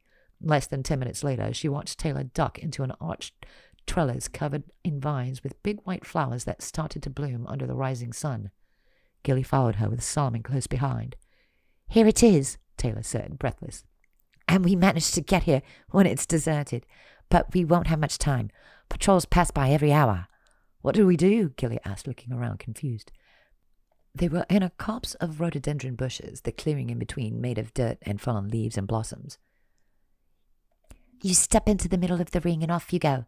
This portal leads to the largest of the pocket dimensions that makes up the rough. You'll have the best chance of finding someone to take you where you're going there. What ring? Solomon asked, scanning the bushes with a puzzled expression. That one, Taylor said, moving toward the middle of the clearing and holding her hand out in front of her. A red circle blazed to life a few steps in front of her, in the center of the copse. Gilly took Solomon's hand and advanced without hesitation. Together they entered the circle, and Gilly waved back at Taylor. Thank you, she said, her voice filled with gratitude. Taylor nodded and tried a smile. Try the tavern in Grandel's Batch. You might have some luck there. Before Gilly could reply, her stomach dropped, air wishing past her sensitive ears. They were no longer in Valencia, the portal having activated. Squeezing Solomon's hands, she braced herself for the unknown. Chapter 7 Gilly's feet hit the ground. She bubbled but did not fall. Looks like I'm getting used to this mode of transportation, she thought, unsure how to feel about that realization. She scanned the area around them, taking in an overgrown thicket flush with brambles and stinging nettles, among other nuisance plants. The world was too dim to see very far, and Gilly noticed that, unlike Valencia, where the sun had been in the process of rising, in the rough, darkness prevailed. Are you okay? She lifted her eyes at the sound of Solomon's rough voice, then looked down to see that their hands were still connected. Fighting a blush, she lifted her gaze to his. His face was covered in shadow, but his eyes shone, filled with an eternal light that she couldn't quite read. Gilly let go of his hand then, feeling embarrassed to have held it for so long after arriving. A part of her lamented the loss of contact, and she already missed the heat of his palm against her. I'm okay, she said at last. You? I'll be better once I get these things off of me, he said, holding up his arms so the silver shackles around them clinked together. Right, Gilly's eyes followed the path leading from the portal through a narrow opening between two overgrown holly bushes. We should probably put a little distance between us and the portal, just in case our subterfuge is discovered sooner rather than later. We'll find some place protected where we can try to get those things off you.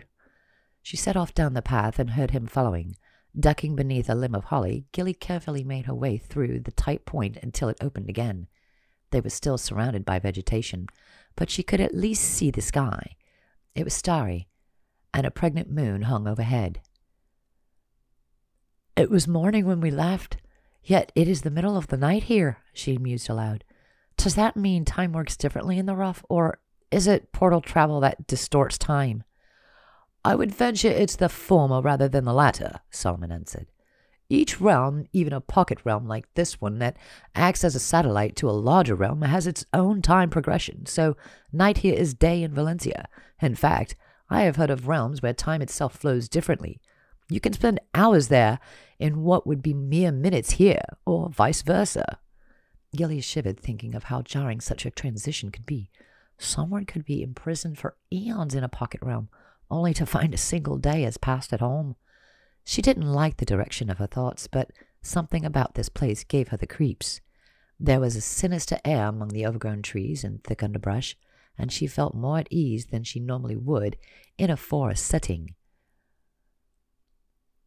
Where do you think this Grandel's batch might be? She asked, more to distract herself from her wayward thoughts than to receive a real answer. Your guess is as good as mine, Mujisa. His use of the term of endearment warmed her insides. She hadn't spent much time thinking about the significance of the name, but she couldn't help thinking it meant there was a chance the dev returned some of the deep emotions she felt for him. Gilly knew he wasn't immune to her charm. The way he kissed her told her that. But lust and love were distant cousins far removed, and she couldn't be sure which one was behind his behavior toward her. We should be happy, she said suddenly, looking over her shoulder at him. Somehow we managed to get you away from a realm full of Fae who are bent on destroying you. But there is something about this place that seems to squeeze all the joy right out of me.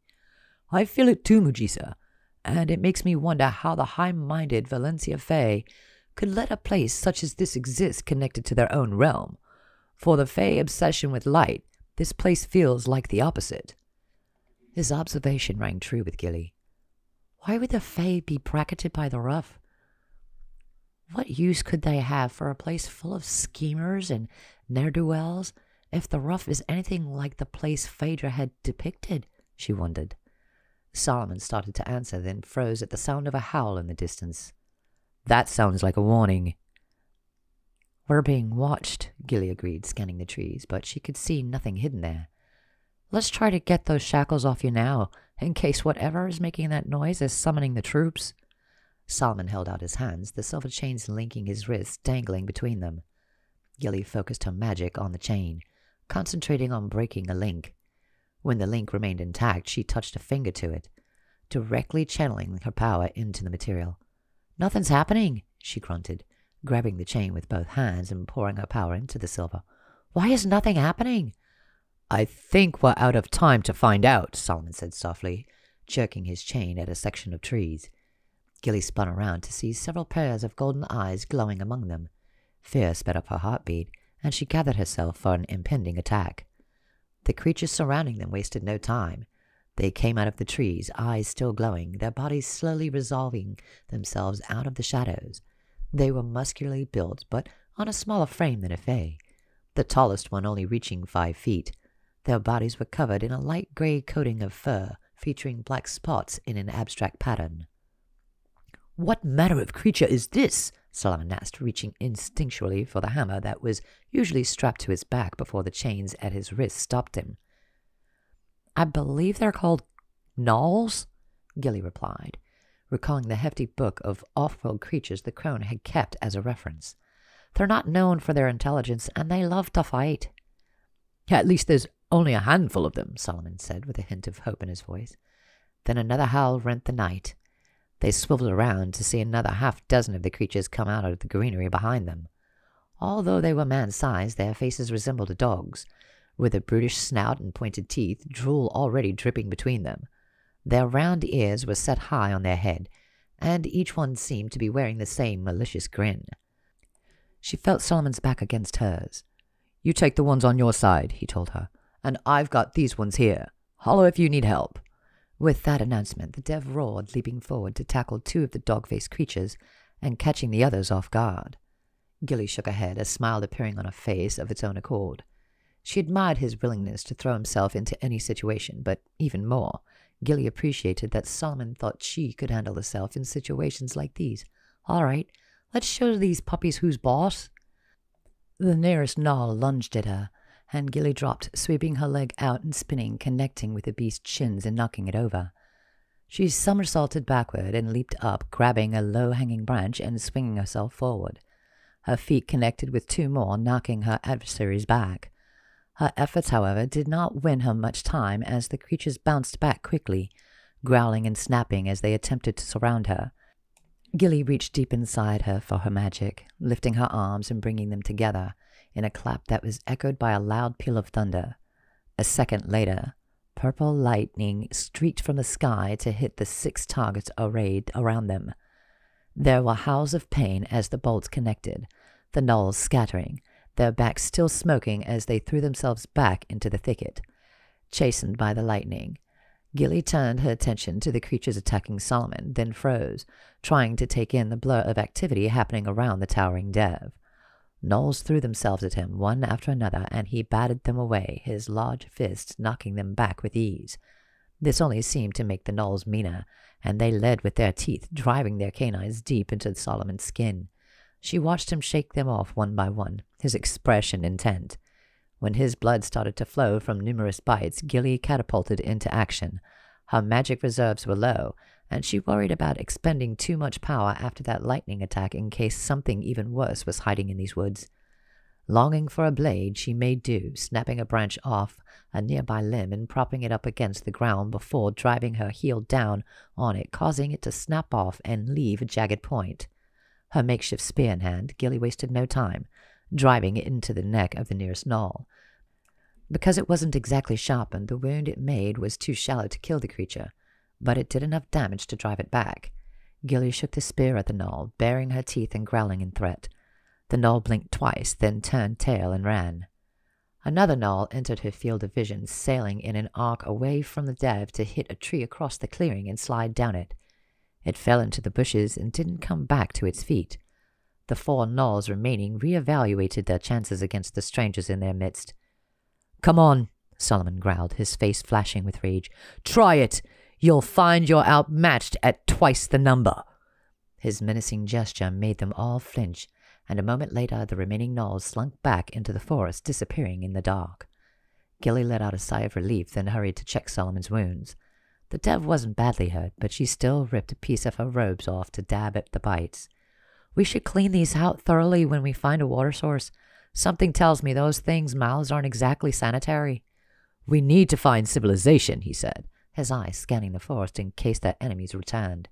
Those gnolls might not have been much of a threat, but something tells me they were nowhere near the worst of whatever else is in these woods. Gilly nodded, his words echoing her own perception. Not to mention the fact that our deception in Valencia might not last forever. If someone is dispatched to find us and bring us back, it won't be too hard to track us down. We gotta find someone to get us out of here before we're caught. Or worse. She shook her head. It seems like I spent all my time figuring out how to escape a place. What is it going to feel like when I'm finally where I want to be again? Glancing at the dev, she dropped the question knowing that when she made it home, they would have to part ways. A part of her wondered if she'd find herself aching for escape from the Fae realm, longing for the handsome hellspawn who'd stolen her heart. Solomon grabbed her, tugging her down the path that continued between the trees. She allowed him to guide her, feeling too lost to take the lead. Lost in thought, lost in emotion, lost in the feeling of his skin against mine. Gilly tried to push the cascading thoughts out of her mind and focus on the journey at hand but it became increasingly difficult to ignore the intensity of her desire for the dev. On to Grandel's batch, she said as much to herself as to him. Onward to escape. One more step on the path that would lead them in different directions. I only hope I'm able to find myself after he's gone, or I may feel lost forever. Chapter 8 We're lost! Gilly stopped in her tracks turning in a slow circle and scanning the forest around them. It was much the same as it had been for the last few hours, with no distinguishing landmarks save the gravel path that continued through the trees in front of and behind them. This path seems to be leading us in circles, or there is something else afoot in this forest. Solomon paused, letting out a heavy breath. I couldn't say. I feel a bit groggy in this place. I've never been among trees so tall and dark before. Gilly blinked, angling her head. I feel groggy too, but I shouldn't. I didn't sleep last night, but that's become a common occurrence lately. She feared something more ominous was to blame. The moon still hung above them. She could see through the trees, but its position was lower. Maybe we can get our bearings when dawn breaks. It can't be too far off by now. Although she spoke the words, it didn't make them true. The rough was a mystery to her and she could only make predictions based on her experience. Maybe night never ends here. Maybe whatever is hiding behind all the leaves and brambles is counting on us, not knowing that fact. And maybe I'm starting to lose it from lack of sleep and endless wandering. Should we bed down? Try to rest? she asked him, unsure of what to do. If they were lost, continuing to walk might only result in them being even deeper into unfamiliar territory. Solomon shook his head. This place is dangerous. I can sense it, and so can you. Whatever is making us feel this way is stalking us. I'm sure of it. Gilly didn't have the confidence he did, but in the absence of any pet ideas, she followed him when he set off down the path once more. The landscape remained the same, the forest too deep to see further than a, a couple of rows of trees. We could be less than a mile from town and never know it, she mused wondering why anyone would build a path that led to nowhere. Someone is trying to spell us. Gilly moved closer to the dev, falling in step beside him. Spell us? Who? I don't know, he replied gruffly, his gaze on the trees around him. But I can feel it. That grogginess, it isn't normal. Something tells me that we're under the influence of someone else's magic. Gilly opened her mouth to speak, but before she could, there was a faint rustle of leaves behind them. She whirled around to see a familiar figure make its way out of the forest and onto the path, moonlit illuminating his pale features. She froze, his eyes locking onto hers, capturing her entire attention. I know that man, except he's not a man. He's a vampire. The one from Holly's dream. Gilly didn't know his name, but she knew he was a threat of enormous magnitude. We're in danger. Run!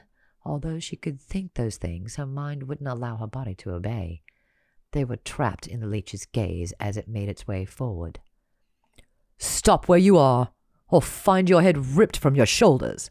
Solomon's voice was thick and rough, and he walked around Gilly to block her from the vampire's gaze, breaking the thing's grip on her mind. She shuddered and stumbled, but kept her feet by grabbing the dev's arm. What are you doing here? she asked, being careful not to make eye contact with the vamp. He didn't answer, instead lifting his head to sniff the air, an expression of ecstasy taking over his face. Where is she? he asked, suddenly animated, his eyes flashing. You will tell me. You're not the one giving orders here, leech. I am.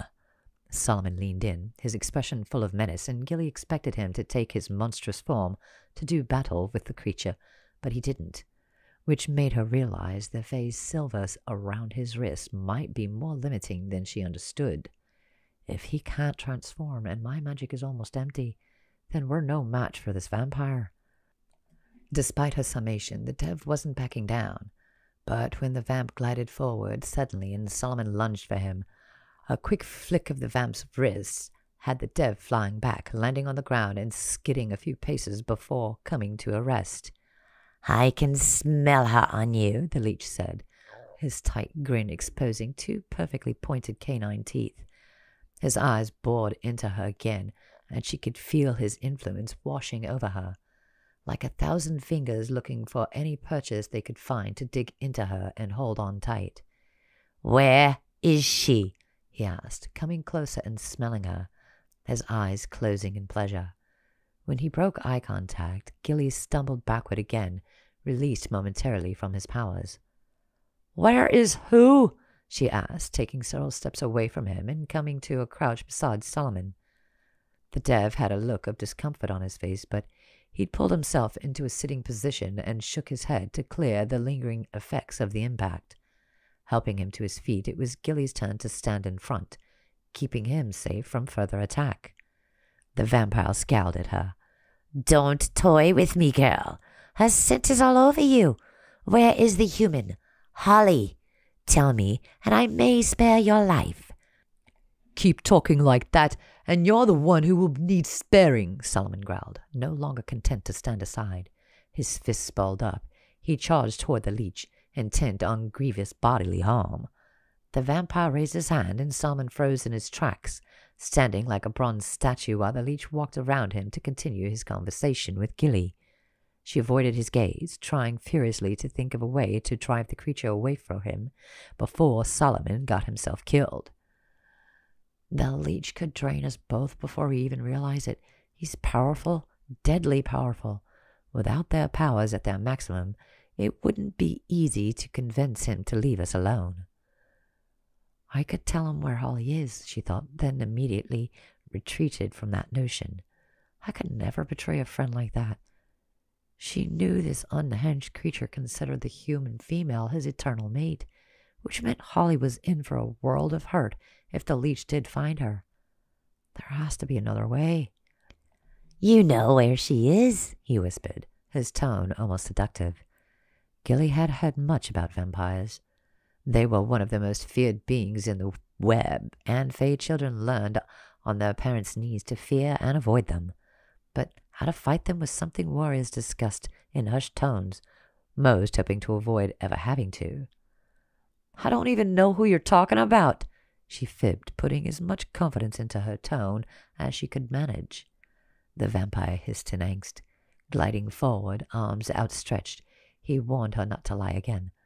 I can make you tell, but I guarantee you won't like how it feels. Panic hit her, and she clutched at her magic, knowing she would only get one shot at whatever came next.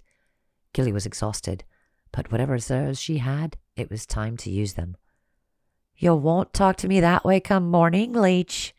Using every last scrap of her power inside her, Gilly raised her hands, casting the first spell every Fae learned, the one that channeled their inner brightness into the world around them. Light bloomed from her body, filling the clearing as if the sun had climbed over the trees and was showering the forest with its light. The vampire let out a howl of agony, He threw an arm up, swinging his cloak around him to cover his body from the rays, then shrank off into the forest in the hopes of avoiding the light. Mark my words, Fae, I'll be back, and you won't get away so easily tonight.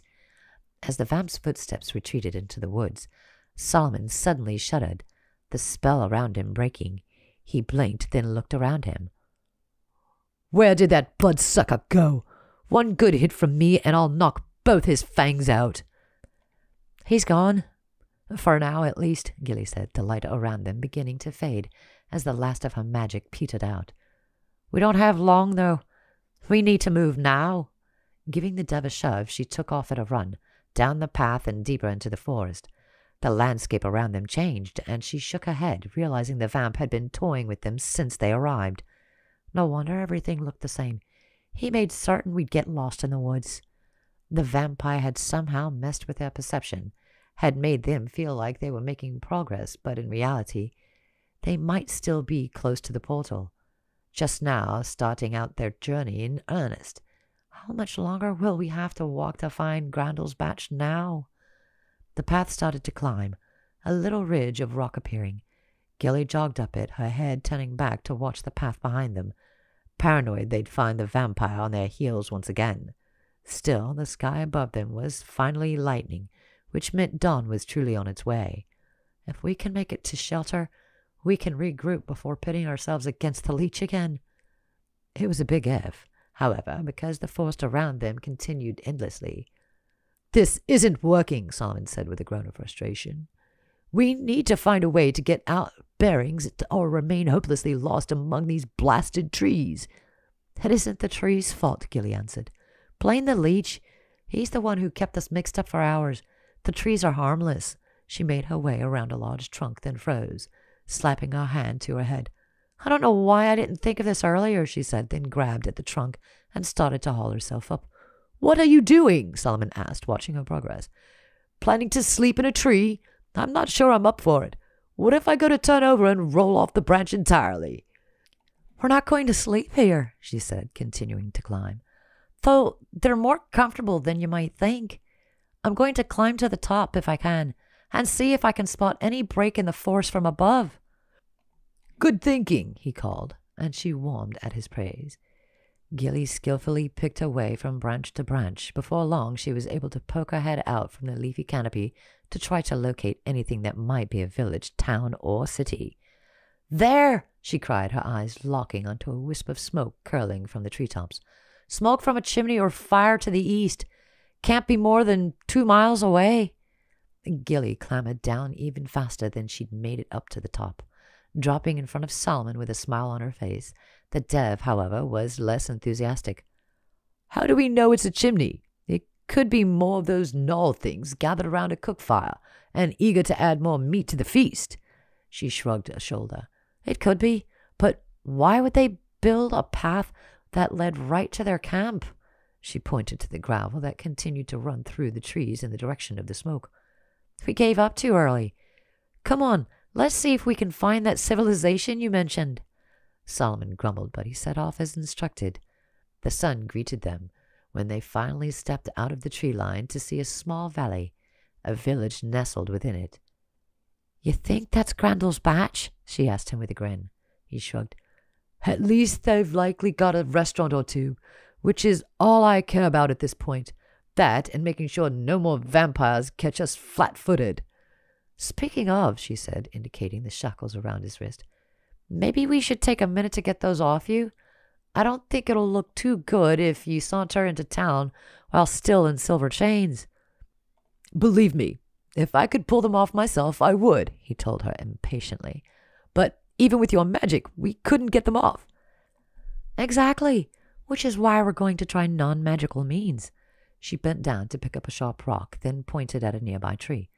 Stretch your arms across the tree there, and I'll see what I can do. The dev did as she suggested, and Gilly lifted the rock, focusing her efforts on one particular link. While the silver was strong and had been reinforced against magic, it was still just silver, and it couldn't stand up under the bashing of a rock. Solomon stared at the broken link and shook his head. If they weren't still silver, I would have pulled them off easily, but the spell of silver does not allow me to remove them without permission. He looked up at her. Thank you. No problem, she said, then watched as he ripped the shackles from around his wrist, the spell of silver now broken. Breathing a sigh of relief that he was finally free, Gilly grabbed the dev's hand and tugged him in the direction of sanctuary. Chapter 9 The village could have been found in almost any realm, so average did it appear to Gilly's eyes as they passed through the main gates. It was still early, but several of the townfolk were awake and in the streets, going about their daily business. She was surprised to see so many Fae among them. The impression she'd gotten of the place from Phaedra had made her think it was a lawless place full of villains. But so far, the village wouldn't be out of place in Valencia. So why does this pocket realm have such a bad reputation? I'm starving, Solomon told her, holding his grumbling belly. The Fae offered me food, but I thought it better not to accept their hospitality. Food it is, then a bed right after, she agreed pointing out a wooden sign hanging from a whitewashed brick building with charming blue shutters. She set off in its direction. The cup and candle looks like it fits the bill. The inn was clean and comfortable, a cozy fire burning in the hearth. Gilly could smell breakfast cooking and almost laughed when the dev pushed past her to hurry to the long counter across the room. Beyond the counter was a large open portion of the wall that created a window in the kitchen. A ruddy checked older female with dark curls under her white cap kneaded a lump of dough. She looked up at their entry and smiled broadly. Welcome to the Cup and Candle. Care for a hot breakfast? I do, Solomon said, pulling out a stool and perching on it. As much as you have on hand. This time Gilly did laugh. She took a seat next to him, some of the night's anxiety melting away in the warm welcome of the innkeeper. The woman abandoned her dough to heat plates full of sausage links, fluffy eggs, and grilled tomato halves. I owe you hot buttered biscuits as soon as they're out of the oven, she said as she set them on the counter in front of her guests. Solomon wasted no time digging in, letting out a moan of delight at first bite. For Gilly, exhaustion outweighed hunger, so she asked the woman if any rooms were available. Of course, she replied brightly. Most of the rooms upstairs are empty except for old man Gribble. If you run into him, he's a trifle deaf and a bit jumpy, but he's harmless. I'll get you a key after I finish with the biscuits. Gilly gave her a grateful smile, then picked up her fork. A bite of tomato was on its way to her mouth when she froze. The jerky motion knocked the tomato back to her plate, but he didn't notice. Stop eating, she hissed under her breath. We don't have any money to pay for this. Embarrassment flooded her, but Solomon didn't even pause. His plate was already more than half empty.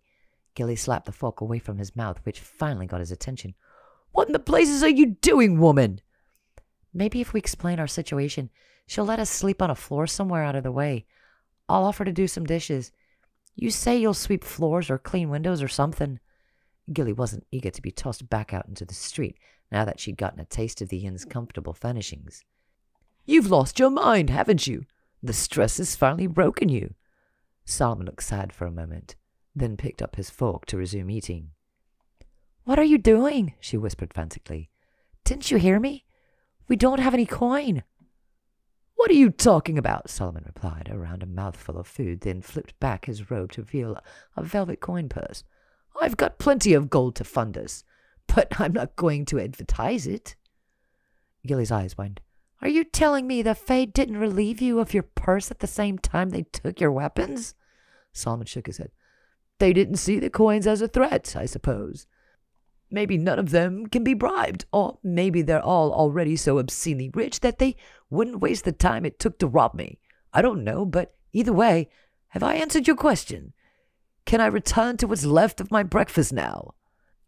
She nodded, ignoring his tart tone and picking up her fork again. By the time the innkeeper appeared with a plate of biscuits, butter, and jam, and a large bronze key, Gilly's plate was nearly as empty as Solomon's, who'd actually lifted it to his mouth to lick it clean. The room is up the stairs at the end of the hall. I've tried to place you far away from old man Gribble. He sometimes likes to shout at the pigeons in the street. What does he say to them? Gilly asked, while her companion buttered his biscuit with gusto before popping it into his mouth. Mostly threats. They won't escape him again. Next time he'll snatch them up and roast them up for his dinner, things of that nature.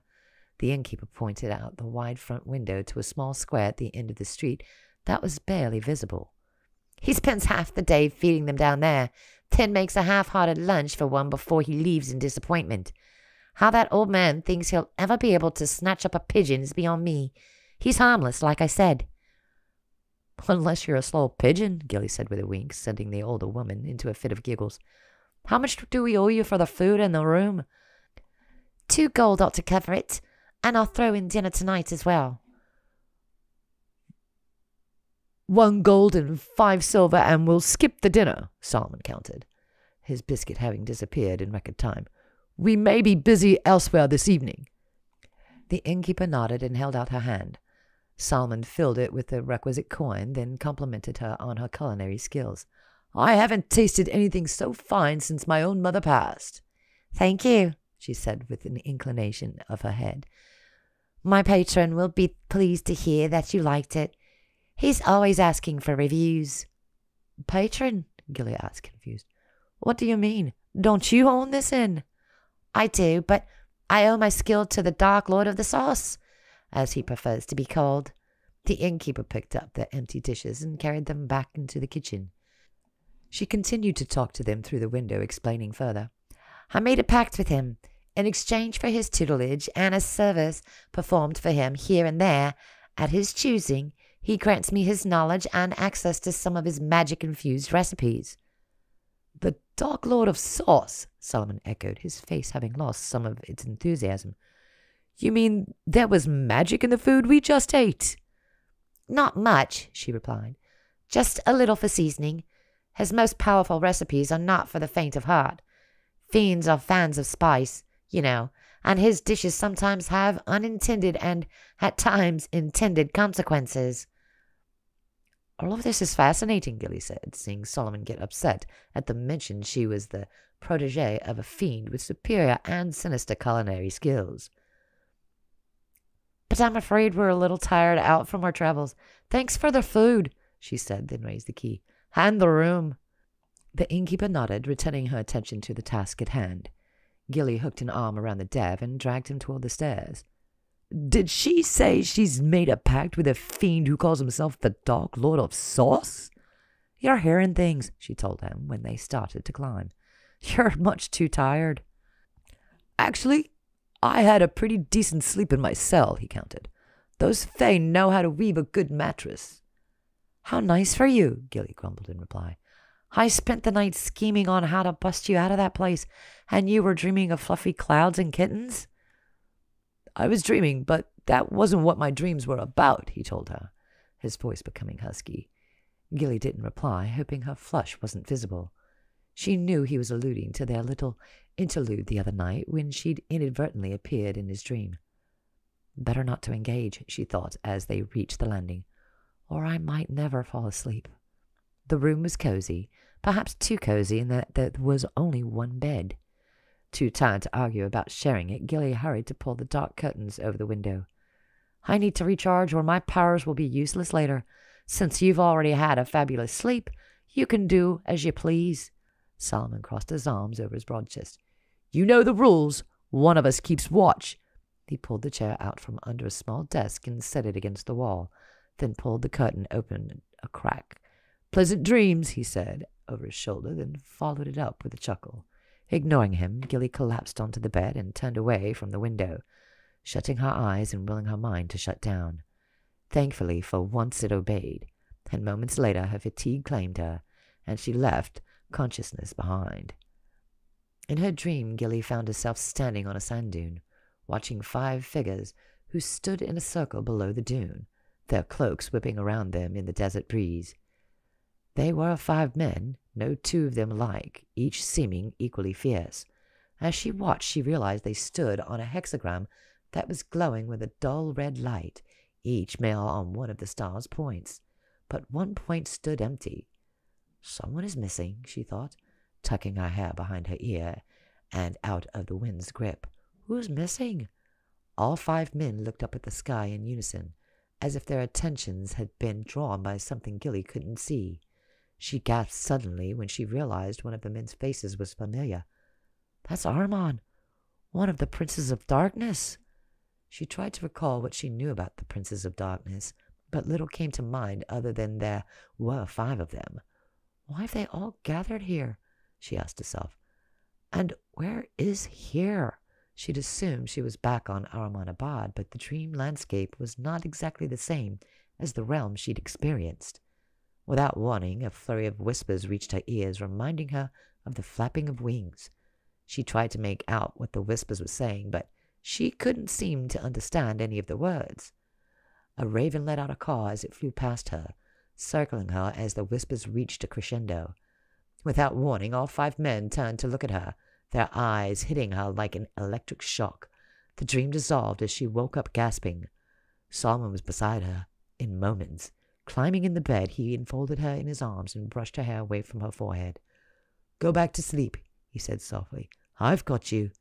Soothed by his rough voice and the warmth of his skin, her eyes closed and she sank back into the abyss of sleep. Chapter 10 The tavern was crowded that night, most of the tables full of drunken patrons with boisterous voices. It was a much different atmosphere than the quiet and cozy candle and cup. Gilly scudded past a broken mug and, in its accompanying puddle of ale, making her way toward the long wooden bar. Tread carefully, Solomon whispered in her ear from behind. This realm is not what it seems. He isn't just stating the obvious, she thought, her eyes scanning the crowd for any signs of danger. From the vampire's mental manipulation to the discovery that their innkeeper, who had seemed charmingly quaint, was in league with a fiend to produce magic flavored concoctions, Gilly didn't relish being caught off guard again. She found an empty space at the bar between a grizzled fae who had shaved half of his silver head and what she thought was a hill dwarf with bushy blond eyebrows and a beard to match. Why do you think the innkeeper sent us here? she asked when Solomon had pulled up to the bar beside her. Do you think she had someone in mind for us to meet? If she didn't, she didn't say so. The dev hadn't been pleased when Gilly had confessed to the innkeeper that they were looking for a way off world. Their hostess had told her about the locations of several portals to Valencia, but when Gilly said they wanted to go somewhere else, she admitted that she knew of no way besides the assistance of a teleporter. Try the creaky table. It's across town. You might find someone there. She'd excused herself to finish up a cake, and Gilly and Solomon had departed in the direction of the creaky table, where they were currently standing. Gilly glanced from table to table, looking for any signs of someone who might possess an ability that allowed them to travel between realms. Unfortunately, finding one by sight was limiting. I don't see any demons, she muttered, knowing the horn type usually had the ability to teleport. They're not the only ones with useful powers, Solomon said while signaling the barkeep. We can't just go by what our eyes tell us. So you expect us to go down the line asking each person if they can get us out of the rough? She rolled her eyes. And you think these are the type of people to volunteer information like that without a cost attached? The crowd was a rougher sort, and she saw plenty of swords strapped to backs and daggers shoved in boots. Solomon didn't bother to reply. Instead, he ordered two ales from the barkeep.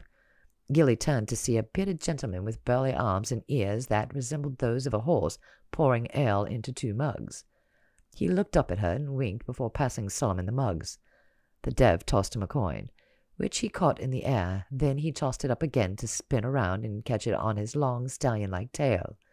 He flicked his tail, and the coin flew into the air and landed in his hand. Very impressive, Gilly said with a laugh, clapping lightly. When he winked at her again, she took it as an opportunity.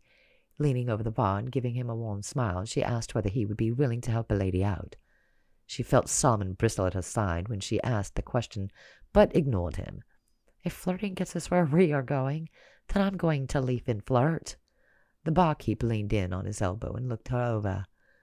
Depends on what the lady needs. By the look he gave her, he was hoping it was something that involved the pair of them in an intimate situation. That's enough, Solomon grumbled, and Gilly cocked an eyebrow at him in response. She turned her head back to the barkeep, her smile widening.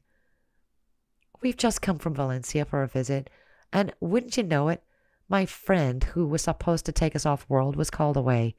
We're hoping to find someone who can take us off world. The barkeep cocked his head. There are the portals that go back to Valencia. They are free to use, well, most are at least. But you do end up in Valencia. His nose wrinkled comically on that line, and Gilly understood that he didn't have a high opinion of the Fae realm they'd just left. We're not headed to Valencia, she admitted. That's what makes this difficult. Batting her eyelashes at him, she smiled sweetly and raised her pitch to sound even more feminine. Can't you help me out? The dev beside her made a strangled sound, slamming down his mug on the counter and walking off. Gilly's eyes followed him to where a barmaid stood, balancing an empty tray on her palm. Then the barkeep drew her attention back. Let me give you some advice about the rough. Folks tend to mind their own business while they're here, and for good reason. It wouldn't be my place to point out someone with a special ability, if you know what I mean. If it's a matter of money, my friend will pay you, she said, indicating Solomon. When her eyes hit the dev again, they widened to find Solomon bending low to speak into the barmaid's ear. She was a buxom lass, and from that angle he'd have a good view of her wares. That Lathan hypocrite, she thought, then turned back to the barkeep. How much would you like? You can catch more flies with honey than with coin, if you follow me, he said, ogling her openly. I get off in another hour. How about you and I go upstairs and discuss this further then? Looks like your friend is otherwise occupied anyway. Okay, sure, Gilly said, not intending to follow up on the invitation at all. She drained her mug, then excused herself. Heading in the direction of Solomon and his barmaid, she felt her temper starting to rise. I'm not jealous, she told herself. I'm just angry because he's doing exactly what he didn't want me doing. The barmaid was blushing red and giggling like a child in the first winter's snow. Solomon was still whispering in her ear, but his hand moved to her bosom. That's it. Gilly rushed forward, grabbing the dev's arm just as he dropped a silver piece between the woman's breasts. What in the seventeen hells do you think you're doing? she growled at him. Just because I was flirting with the barkeep, you saw the need to take things to the next level? Is that it? I was just gathering information, he said innocently, then turned back to the barmaid, who eyed Gilly with suspicion. Thank you for that name, sweetheart, he told her, bending over to kiss the back of her hand. The barmaid giggled fiercely, then wandered off, looking back over her shoulder to give Solomon a seductive glance. Gathering information, Gillian mocked. What exactly did you learn? How many silver pieces could fit down her bodice? Someone's jealous, Solomon said mildly, arching dark eyebrow at her. Unlike your efforts with that satyr behind the bar, I was actually able to get a name. And how do you know I didn't? Gilly said stiffly blowing a burst of irritation air out of her nose. Because that type is much more practiced than an innocent like you. He wouldn't give up anything, but he'd have you give him everything. Gilly rolled her eyes, but she knew the devil was likely correct. She'd already proven to him that she was a terrible flirt, but when he'd turned the tables on her, she'd seen a side of Solomon that had driven her wild with desire. And he's just done the same thing to that barmaid. What name did you get? she asked, pushing down her envy in favor of making progress. Yako, he said, scanning the room for the owner of that name. Long black hair with a fluffy tail to match. Ah, he said, inclining his head in the direction of a male who matched those features. I think he's there. Gilly's gaze landed on a man sitting alone at a small table, drinking out of a tiny ceramic cup beside a ceramic bottle with strange markings on it. The man's hair was long and black, a shining cascade over his shoulders. His eyes were also black and almond shaped, but his clothing was unfamiliar to her fae eyes. White sleeves poked from a dark gray sleeveless robe that was belted at the waist. She could see a hint of bushy black tail from under the table. Well, she asked, turning back to Solomon, who had yet to move in the creature's direction. Are we doing this or what? Perhaps not, he said, stroking his chin. That looks like a Nagastoon. I've heard of this type. One supposedly came to Ahrimanabad centuries ago and caused all sorts of trouble. A Naga what's it? she asked, studying the diminutive figure. He doesn't look like much. Nagastun? And looks can be deceiving. They are a race of known tricksters, lovers of mischief and mayhem. Dev give them all a wide berth. Well, we aren't going to get out of the rough unless we take risks, she told him. And this is the first line we've had on anyone who might be able to take us out of here. I say we talk to him. With that, she set off in the direction of the Nagastun's table. He looked up at her approach, his expression one of curiosity. Without waiting for an invitation, Gilly took a seat at his table. Hello, she said, striking out a hand toward him. My name is Sagila of the Fae, but you can call me Gilly. Hello, Gilly, he said, taking her hand and shaking it once. And who is your towering friend? That's Solomon, and he warned me not to talk to you. This earned a baleful glance from the dev, but it made Yako laugh. But I told him you looked like you could be trusted. Did I make a good decision? Yako considered her words, lifting the tiny cup to his lips and drinking, then returning it to the table to refill it again. A fae without wings and a dev who's left his hell realm. My horoscope did say today was going to be interesting. Gilly noticed he didn't exactly answer her question, but that was okay. She'd taken a gamble and gone into it directly, hoping to catch his attention and keep it. Yes, yes, the old light versus dark thing. We've heard all about it. She waved her hands dramatically, then leaned in to say in a faux whisper, It really didn't go over too hot in Valencia. I can see why, Yako answered with a chuckle. But what I don't see is why the two of you have come to grace my table. What is it you think I can offer you? A ride off world, she said simply. Rumor has it that you're able to teleport. Rumor, eh? he said with a grin. In this instance, rumor is correct. And as I'm such a nice guy, I would be happy to assist you in getting out of the rough. But traveling here, you must know that nothing does anything for free. What do you want? Solomon's voice was as rough as gravel. I need a couple of skilled individuals for a heist I'm planning. You help, and we'll split the treasure three ways and then I'll send you to whatever realm you like. What are you trying to steal? Gilly asked, her guard going up. Just a bubble of sentimental value, he said airily. It was taken off me, and I'm merely reclaiming what already belongs to me. And how do we know you'll hold up your end of the bargain? Solomon asked coldly. Can you even teleport? Or is this all some sort of grift on your part. Yako looked at him, the corners of his lips twitching. Without warning, he made a high yipping noise like a fox in the forest. Gilly saw him snap his fingers, then suddenly she couldn't see Yako any more. They were standing on a snowy hillside, overlooking a bamboo forest.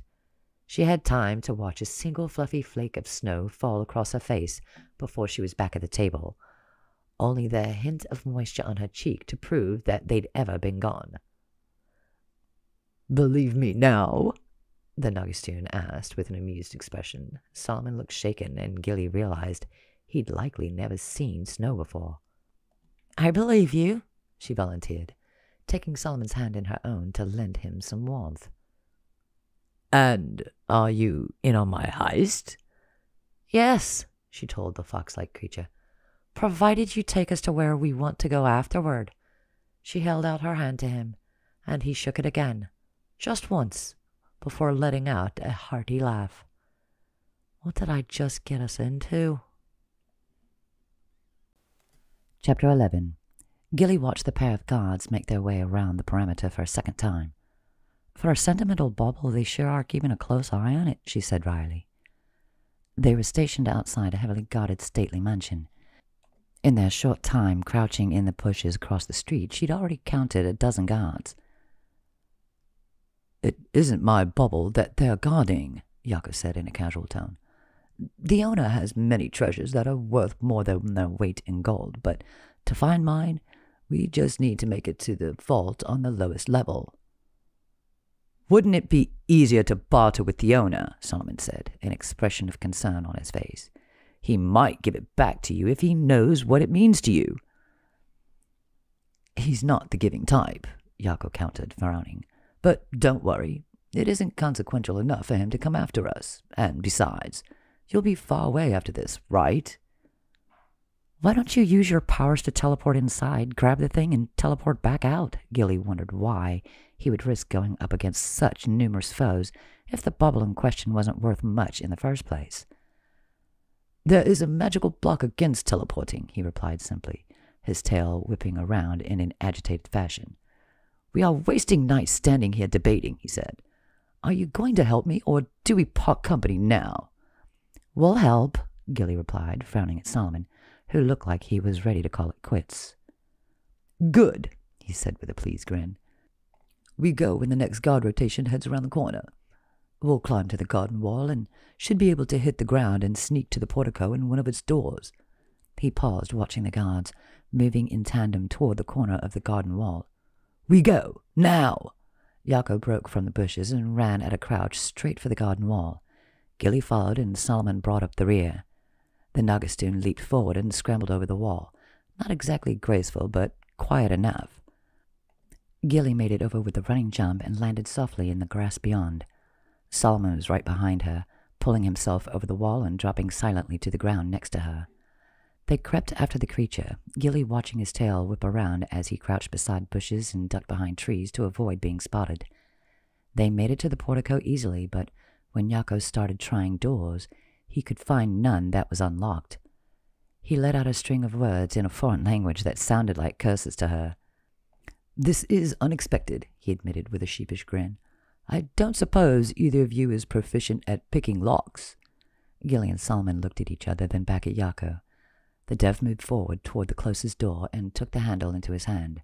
With one hard yank, the handle came off in his hand, the locking mechanism along with it. Will this do? he said sarcastically.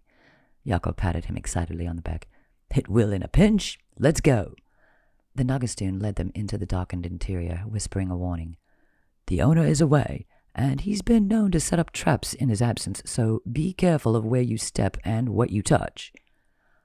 Although it was dark and the dev's face was in shadow, Gilly knew he was rolling his eyes. She turned her attention back to Yako, who was getting his bearings in the room. I can see in the dark fair enough, he whispered. Follow me and step where I step. Gilly did as he suggested, and they set off across what appeared to be a sitting room. They skirted soft furnishings and tables holding expensive decor pieces. She watched her step, trying to avoid knocking anything over or setting off any of the traps Yako warned against. The Nagaston froze at the arched entryway into a dark hall. His head swiveled back and forth, making certain no guards were in the area. He started forward, but the dev put a hand on his shoulder, holding him back. Solomon pointed to the doorway above him, where Gilly could barely make out a metallic thread stretched across the space. His finger followed it down to the floor near Yako's feet. Trap, he whispered. The man's delicate features turned up in a grin. He nodded once, then carefully stepped over the tripwire. In the corridor, he skittered across the floor, leading them deeper into the house, tail bouncing behind him.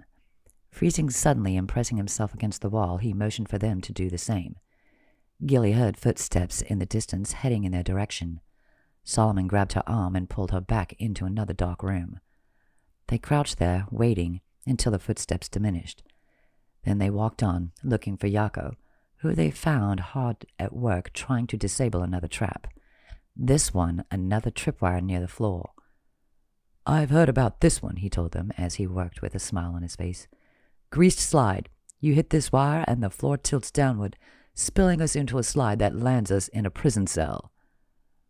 Good thing you spotted it, Gilly whispered back, beginning to think they were in the company of a madman. Who could be having a good time doing this? This isn't the worst one, he said, snipping the wire in a way that didn't set off the trap. There is a hallway on the second floor filled with pressure plates. You hit one, and a pair of long swords come out from slits in the wall and cut you down. I heard there were no less than ten pairs of blades up there, so if you manage to miss the first pair, the next one will get you, or the next. And you think some bauble of sentimental value is worth risking all this? Solomon asked, anger evident in his tone. You have no idea, Yako answered. He crooked his arm for them to follow now that the trap was disabled. The stairs are right down here.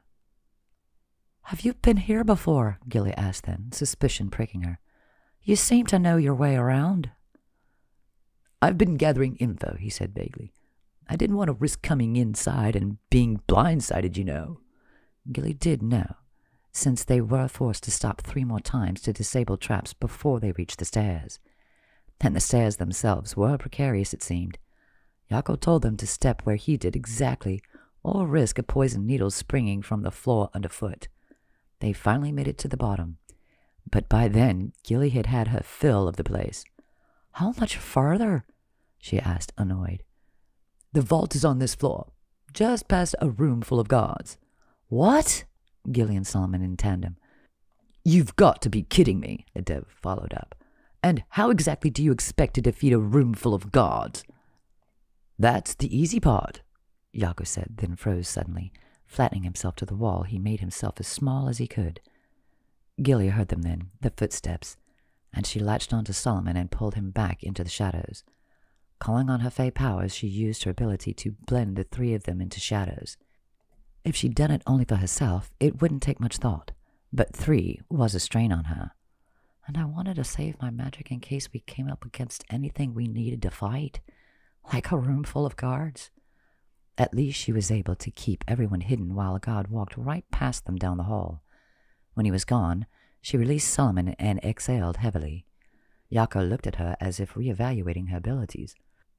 Nicely done, he whispered, then waved them forward. Solomon, however, held her back. What are we doing? This is far too dangerous. We should go. Now, before that fox thing gets us killed. If we get this leafing bubble of his, he'll take us out of the rough, she reminded him. We've come this far. And it only takes one mistake to end up dead, he replied angrily. Solomon pointed down the hall at Yako. That creature's race is known for their deceit. He could be leading us into a trap of his own.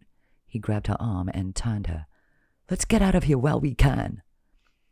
Solomon, stop! She yanked her arm out of his grip. You do this all the time, insist that something terrible is going to happen, but we've yet to die, and we need his help to get out of here. Something terrible always happens, he replied, throwing his arms out in disgust, as if to emphasize the point. His arm um, accidentally made contact with a pressure plate situated in the wall. Gilly heard a series of clicks, then the whir of some kind of mechanics. The wall behind Solomon was suddenly closer and the dev took a step forward, the color draining from his face. Badbaha, he muttered, shaking his head. I'm sorry, Mujisa. I'm an idiot. Come on, she said, sprinting forward to reach the end of the hallway before the walls closed in on them. Gilly was fast and Solomon even faster, but it would be a close thing. The dev reached the opening before her and wedged himself in, his arms trying to hold back the walls long enough for her to escape. She crouched under his arm and into the vestibule beyond, then turned back to him. Can you let go and dive forward? Going to try, he grunted, then flung himself out the opening that clapped closed behind him. Solomon panted, wide eyed, sufficiently chastened to no longer try to retrace their steps. We need to find Yako, she hissed, then turned around to see the creature crouching there, his almond eyes watching them. Having a little fun without me? he asked, then chuckled softly. Come on. I've found the vault anteroom. Yako led them to a room where the torches blazed on the walls. The three of them stood on the threshold, considering. I thought you said this room was filled with guards, Solomon asked him. All I see are those stone statues. Exactly, Yako said. Another trap, Gilly said, looking down at the floor to find tiles in red and black alternating across the floor. Let me guess. Every one of those tiles is a pressure plate. You're getting it, Yako said with a laugh. Yes. At the first step, the two statues on either side of the first row activate. The next step, two more come to life, and so on. By the time you make it across the room, you've got a dozen stone men to contend with. Gilly looked the room over, not interested in a fight they couldn't win. I've got an idea. Crouching low, she closed her eyes and concentrated on drawing her magic. She knew she couldn't touch the ground lest a pressure plate go off, but if she did this right, they wouldn't have to touch the ground at all. She exhaled, her breath coming out cold enough to start a shear of ice growing from the outer walls in. Aiming her magic carefully, she created an ice shelf that hovered half an inch above the floor itself. Gilly blew out again and again, thickening the ice as the minutes stretched out. Finally, she straightened, nodding proudly at her work. Brilliant! Yako yipped, pulling her into an embrace. If you'd like to partner up after this, I think you and I would be able to pull off some amazing feats. Gilly smiled. Let's concentrate on pulling this one off first. I'll go first, Solomon said. If it holds me, it will hold each of you easily. The dev hesitated, his foot hovering over the floor. He stepped up onto the ice, one foot and then the other, and waited for the ice to crack and the pressure plates to initialize. Nothing happened. Gilly and Yako watched as Solomon made his way carefully across the ice. He paused at the archway leading into the room beyond and motioned for the next one to make the passing. Yako clambered up nimbly, his steps quick and light, and soon he was across. Then it was Gilly's turn. She wasn't worried, having seen Solomon cross with no danger. Her eyes took in the statues as she passed them and quickly noticed a trend. They were Fae, ancient ones by the look of their haircuts. Each had two long braids reaching the waist of their chainmail tunics. Their pointed ears and ethereal beauty quickly gave them away. What exactly is this realm's connection to the Fae? she wondered, not for the first time. Leaping down lightly from the ice shelf, she followed the men as they made their way into the chamber beyond. A single torch burned on the other wall, and below it sat a chest with a large lock that winked in the firelight. Mine, Yako cried, rushing across the room without hesitation. Gilly winced, sure his actions would set off yet another secret trap, but the Nagastoon reached the chest without impediment. He clawed at the giant lock, then paused long enough to pull out a thin chain from around his neck. On it hung a small silver key. Yako drove the key into the lock with a yip of excitement. It opened, and he made short work of it, tossing the lock behind him. The chest creaked open, and Gilly hurried forward to see what treasure awaited them. She imagined a priceless artifact worth the perils they'd faced. Let's see what we'd risk life and limb for. Chapter 12 It's just a dusty old sack, Gilly cried, then covered her mouth, worried her volume might bring a guard down on them. Looking over her shoulder, she didn't see anyone coming for them across the sheet of ice. Turning back, she watched as Yako snatched the bag from the chest and let the lid fall with a clang. We should go now. Yako turned on his heel and hurried toward the ice sheet, pulling himself up without waiting to see whether they would follow him. Gilly glanced at Solomon, who shrugged, then let out a sigh. Well, you wanted to leave earlier, so I guess you're getting what you want. The dev scowled at her words, then clambered up onto the ice sheet, following their companion. Gilly took up the rear, gliding across the ice effortlessly to catch up with her fellow thieves. What in the multi-worlds could be in that sack, she wondered. What could be worth all of this? Gilly wouldn't have knowingly suggested they tackle the trap-laden and god-stuffed mansion. Or would I? If it gets us out of the rough, then maybe. They made it back to the stairs in moments, and once again they followed Yako onto the steps in the required pattern, being careful not to set off another catastrophe. Carefully they returned the way they'd come until they reached the sitting room with the broken lock. Yako paused on the threshold, peeking out the door to watch two guards march past. He waited for a couple of beats, then pushed the door open and skidded out into the garden. Crouching by the bush next to the garden wall, their companion pulled out the dusty sack and pawed at it anxiously. I can't wait any longer, he mourned. Gilly watched him open the ties, his hand disappearing into the bag, only to reappear holding a small rectangular object. What is it? Gilly asked, her heart beating harder. Maybe it's something magical. Maybe he'll share it with us. He did say he'd share any treasure with us. This must be virtually priceless. You are looking at the most flavorful slice of fried tofu outside of, of Fukui, he said, his tone full of reverence. Tofu, she said, confused. Then the smell hit her, a pungent aroma that was unpleasant, but only mildly so. What is that? It's food, Solomon realized, his tone confused. We risked our necks for food? Not just any food. This snack is irresistible to my kind. Yako grinned at them, pulling the tofu closer to take a huge sniff. His mouth dropped open, his pointy canines dripping with saliva. I can't wait any longer. I must have a taste. His tongue flicked out to lick at the tofu, his face a mask of ecstasy. He opened his jaws and tossed the tofu inside, whole, then chomped down eagerly, making joyful sounds as he chewed. Why was a piece of food kept in a safe? Gilly asked, confused. Once the Nagastoon swallowed, he answered her question with a grin. A friend of mine and I had a bet. He did not think I would be able to claim the prize, but I knew that I could, and now I have. This was a bet? Anger hit her like a bolt of lightning. You sneaky little acorn thief!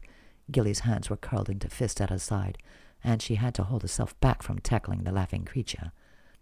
The dev didn't bother holding himself back. He grabbed Yako by his robe and lifted him, shaking him in his fist. Transport us out of here, now! Take us to Gilly's home realm! Gilly glanced at him, eyes wide.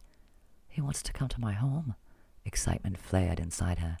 She knew it wouldn't be an easy introduction, but she hoped her family would accept him. Because I love him, and I don't want to leave him behind. Yako grinned, then licked his chops. He lifted his head, yipping loudly up at the moon. A blue light flashed suddenly, blinding her. Gilly blinked, and when she looked again at Yako, she realized the man was gone. Solomon let out a growl, dropping the robes. From the empty neck hole, a fox sprang. It shook its bushy black tail, then made another yip before bounding off into the garden and disappearing beneath the hedge. They looked at one another, surprised by this turn of events. Gilly was about to suggest going after the fox, but the sound of pounding feet heading in their direction changed her mind. Guards, headed this way, she called, taking a defensive stance as they rushed toward them through the bushes. That's it, Solomon growled, his temper having snapped. I've had about enough of this pussyfooting around. It's time to let out some of this pent-up aggression. With a roar that shook the garden wall's foundation, he transformed, letting the monster inside him come out to play. Guards continued to spill out of the house, dozens and dozens, until Gilly wondered how the owner of the house could afford to employ so many. Then she realized many of them looked the same. A nondescript Fae male with the same long braids she'd seen on the statues upstairs. Magic, I should have known. Feeding off Solomon's anger, she drew on the well of power inside her, ready to let her temper reign. Your master likes to snare people in his traps, eh? Let's see how you like it. She knelt to bury her fingers in the dirt and grass, channeling her power into the ground around her. The vegetation around them began to shake, a wave of rustling shooting through the garden toward the house. Suddenly, branches and vines sprang from the various bushes, flowering trees, and shrubbery surrounding them. The garden came to life around the guards, roots rolling out to trip them, vines wrapping around their limbs and pulling them into the brush to swallow them whole. While Gilly used the power of nature against them, Solomon relied on brute force, beating back waves of Fae clones with his fists. They just keep coming, he shouted, picking one guard up and tossing him into three more, knocking them all to the ground. One falls and four more take his place. She could feel the dev's frustration. Although the garden was doing its best to devour the pesky guards, more spilled from the ornate house, like a plague of locusts come to devour the garden before it could devour them. Gilly stared at the house, peering in the windows, hoping to catch sight of whatever magic user was in control of the property and its servants. Her eyes froze when they landed on a small marble statue of an ancient Fae warrior nestled in a small alcove on the second floor balcony. That thing looks just like they do. Inspiration hit her, and Gilly bounded toward the house, using her extreme athleticism to leap over guards and swing from trees until she was able to haul herself up on the balcony running along the second story of the mansion. Where are you going? Solomon called out. Then she felt the impact when another guard slammed into the wall just below the balcony and slid down the stone of the house to tumble back to the ground. I'm testing out a theory, she said, stopping in front of the statue. She picked it up, tracing the fine detail that was a miniature copy of the ones stationed outside the vault. Except this one was carved of an enormous sapphire. The gem should feel cool in my hand, but it's pulsing with heat. Gilly carried the statue to the balcony, waving at Solomon, who was busy driving the heads of two guards together with a meaty thud. She tossed the statue off the balcony. It shattered on the stone path below, its shards flashing before they vanished, taking the multitude of guards with them. Solomon blinked in surprise at his empty hands, then looked up at her and grinned. Smart thinking, Mujisa! Now climb back down here quickly. All the racket we made is sure to alert the neighbors that there is trouble afoot. Gilly hurried to join him, then followed him over the garden wall and into the alley that ran along the back of the mansion. Already she saw lamps lighting in the other homes on the street, and people tumbling out of open doors to see what manner of disturbance was in progress. There they are. A woman with her hair up in elaborate ribbons to prep it for sleeping pointed at them, her eyes on the dev, a look of fear on her face. Come here, Gilly said, pulling him back into the shadows and using her power to shield them from view. Stick to the darkness, and we'll find a way out of the city. It was clear to her, given the commotion currently surrounding them, that they'd have trouble blending into the small village now that they'd been spotted. I don't have a great feeling about this, Solomon whispered to her, as she smuggled them out of the city gate and into the court. There they are. A woman with her hair up in elaborate ribbons to prep it for sleeping pointed at them, her eyes on the dev, a look of fear on her face. Come here, Gilly said, pulling him back into the shadows and using her power to shield them from view. Stick to the darkness, and we'll find a way out of the city. It was clear to her, given the commotion currently surrounding them, that they'd have trouble blending into the small village now that they'd been spotted. I don't have a great feeling about this, Solomon whispered to her as she smuggled them out of the city gate and into the countryside around the city. We're leaving town in the dead of night, and we know what lurks in the woods. What else can we do? Gilly asked. Yako screwed us over. Like I said he would. She could see that the dev was working up a full head of steam. Yet you never listen to me. Over and over, you drag us into something you think will make things better, but they only end up worse. They'd reached the tree line, and Gilly dropped her spell. Hit with a wave of exhaustion, she pushed it away to round on him. I'm sorry, okay? I'm trying to get us out of here, and yes, I might take risks, but what else can we do? Settle down here in the rough? Spend the rest of our lives avoiding Fae operatives and growing more bitter and disillusioned with each other? Solomon stared at her. He opened his mouth to speak, then closed it again, shaking his head. I'm the one who should apologize. I know you're only trying to do what you think is best. Gilly sighed wearily, the fight gone out of her. She started off down the path that climbed a shallow ridge back out of the valley. They were retracing their steps, heading back into the same forest they'd traversed for hours yesterday without making any progress, thanks to the leech. At the thought of the vampire, her ears shivered. The feeling of being watched settled on her shoulders almost immediately. You're being paranoid, she told herself, focusing instead on her disappointment at being cheated by the Nagastoon. He transported us once. He could have done it again, especially after we helped him. Her eyes sought the stars burning above them. Tofu! Is this the direction we came from? Solomon asked, coming to a stop and pointing through the trees. This is the way the path goes, she answered tartly. What are you asking? He pressed a hand to his head. I'm feeling strange again. That was the only notice they got. The vampire stepped out of the forest and onto the path directly in front of them. I will have Holly. You will not evade me. Gilly's eyes widened. She was running empty on powers, having expended almost all her reserves on the fight in the garden and their escape afterward. Just like the night before, it was the worst time to face off against a vampire. Solomon, however, wasted no time transforming into his monstrous form. Towering above them both, he roared in the vamp's direction. The leech didn't even flinch. He glided forward, his eyes boring into her. I will not be denied. Where is the human Holly? Tell me. She felt the creature's powers trying to invade her mind. Gilly resisted, but the pain was incredible.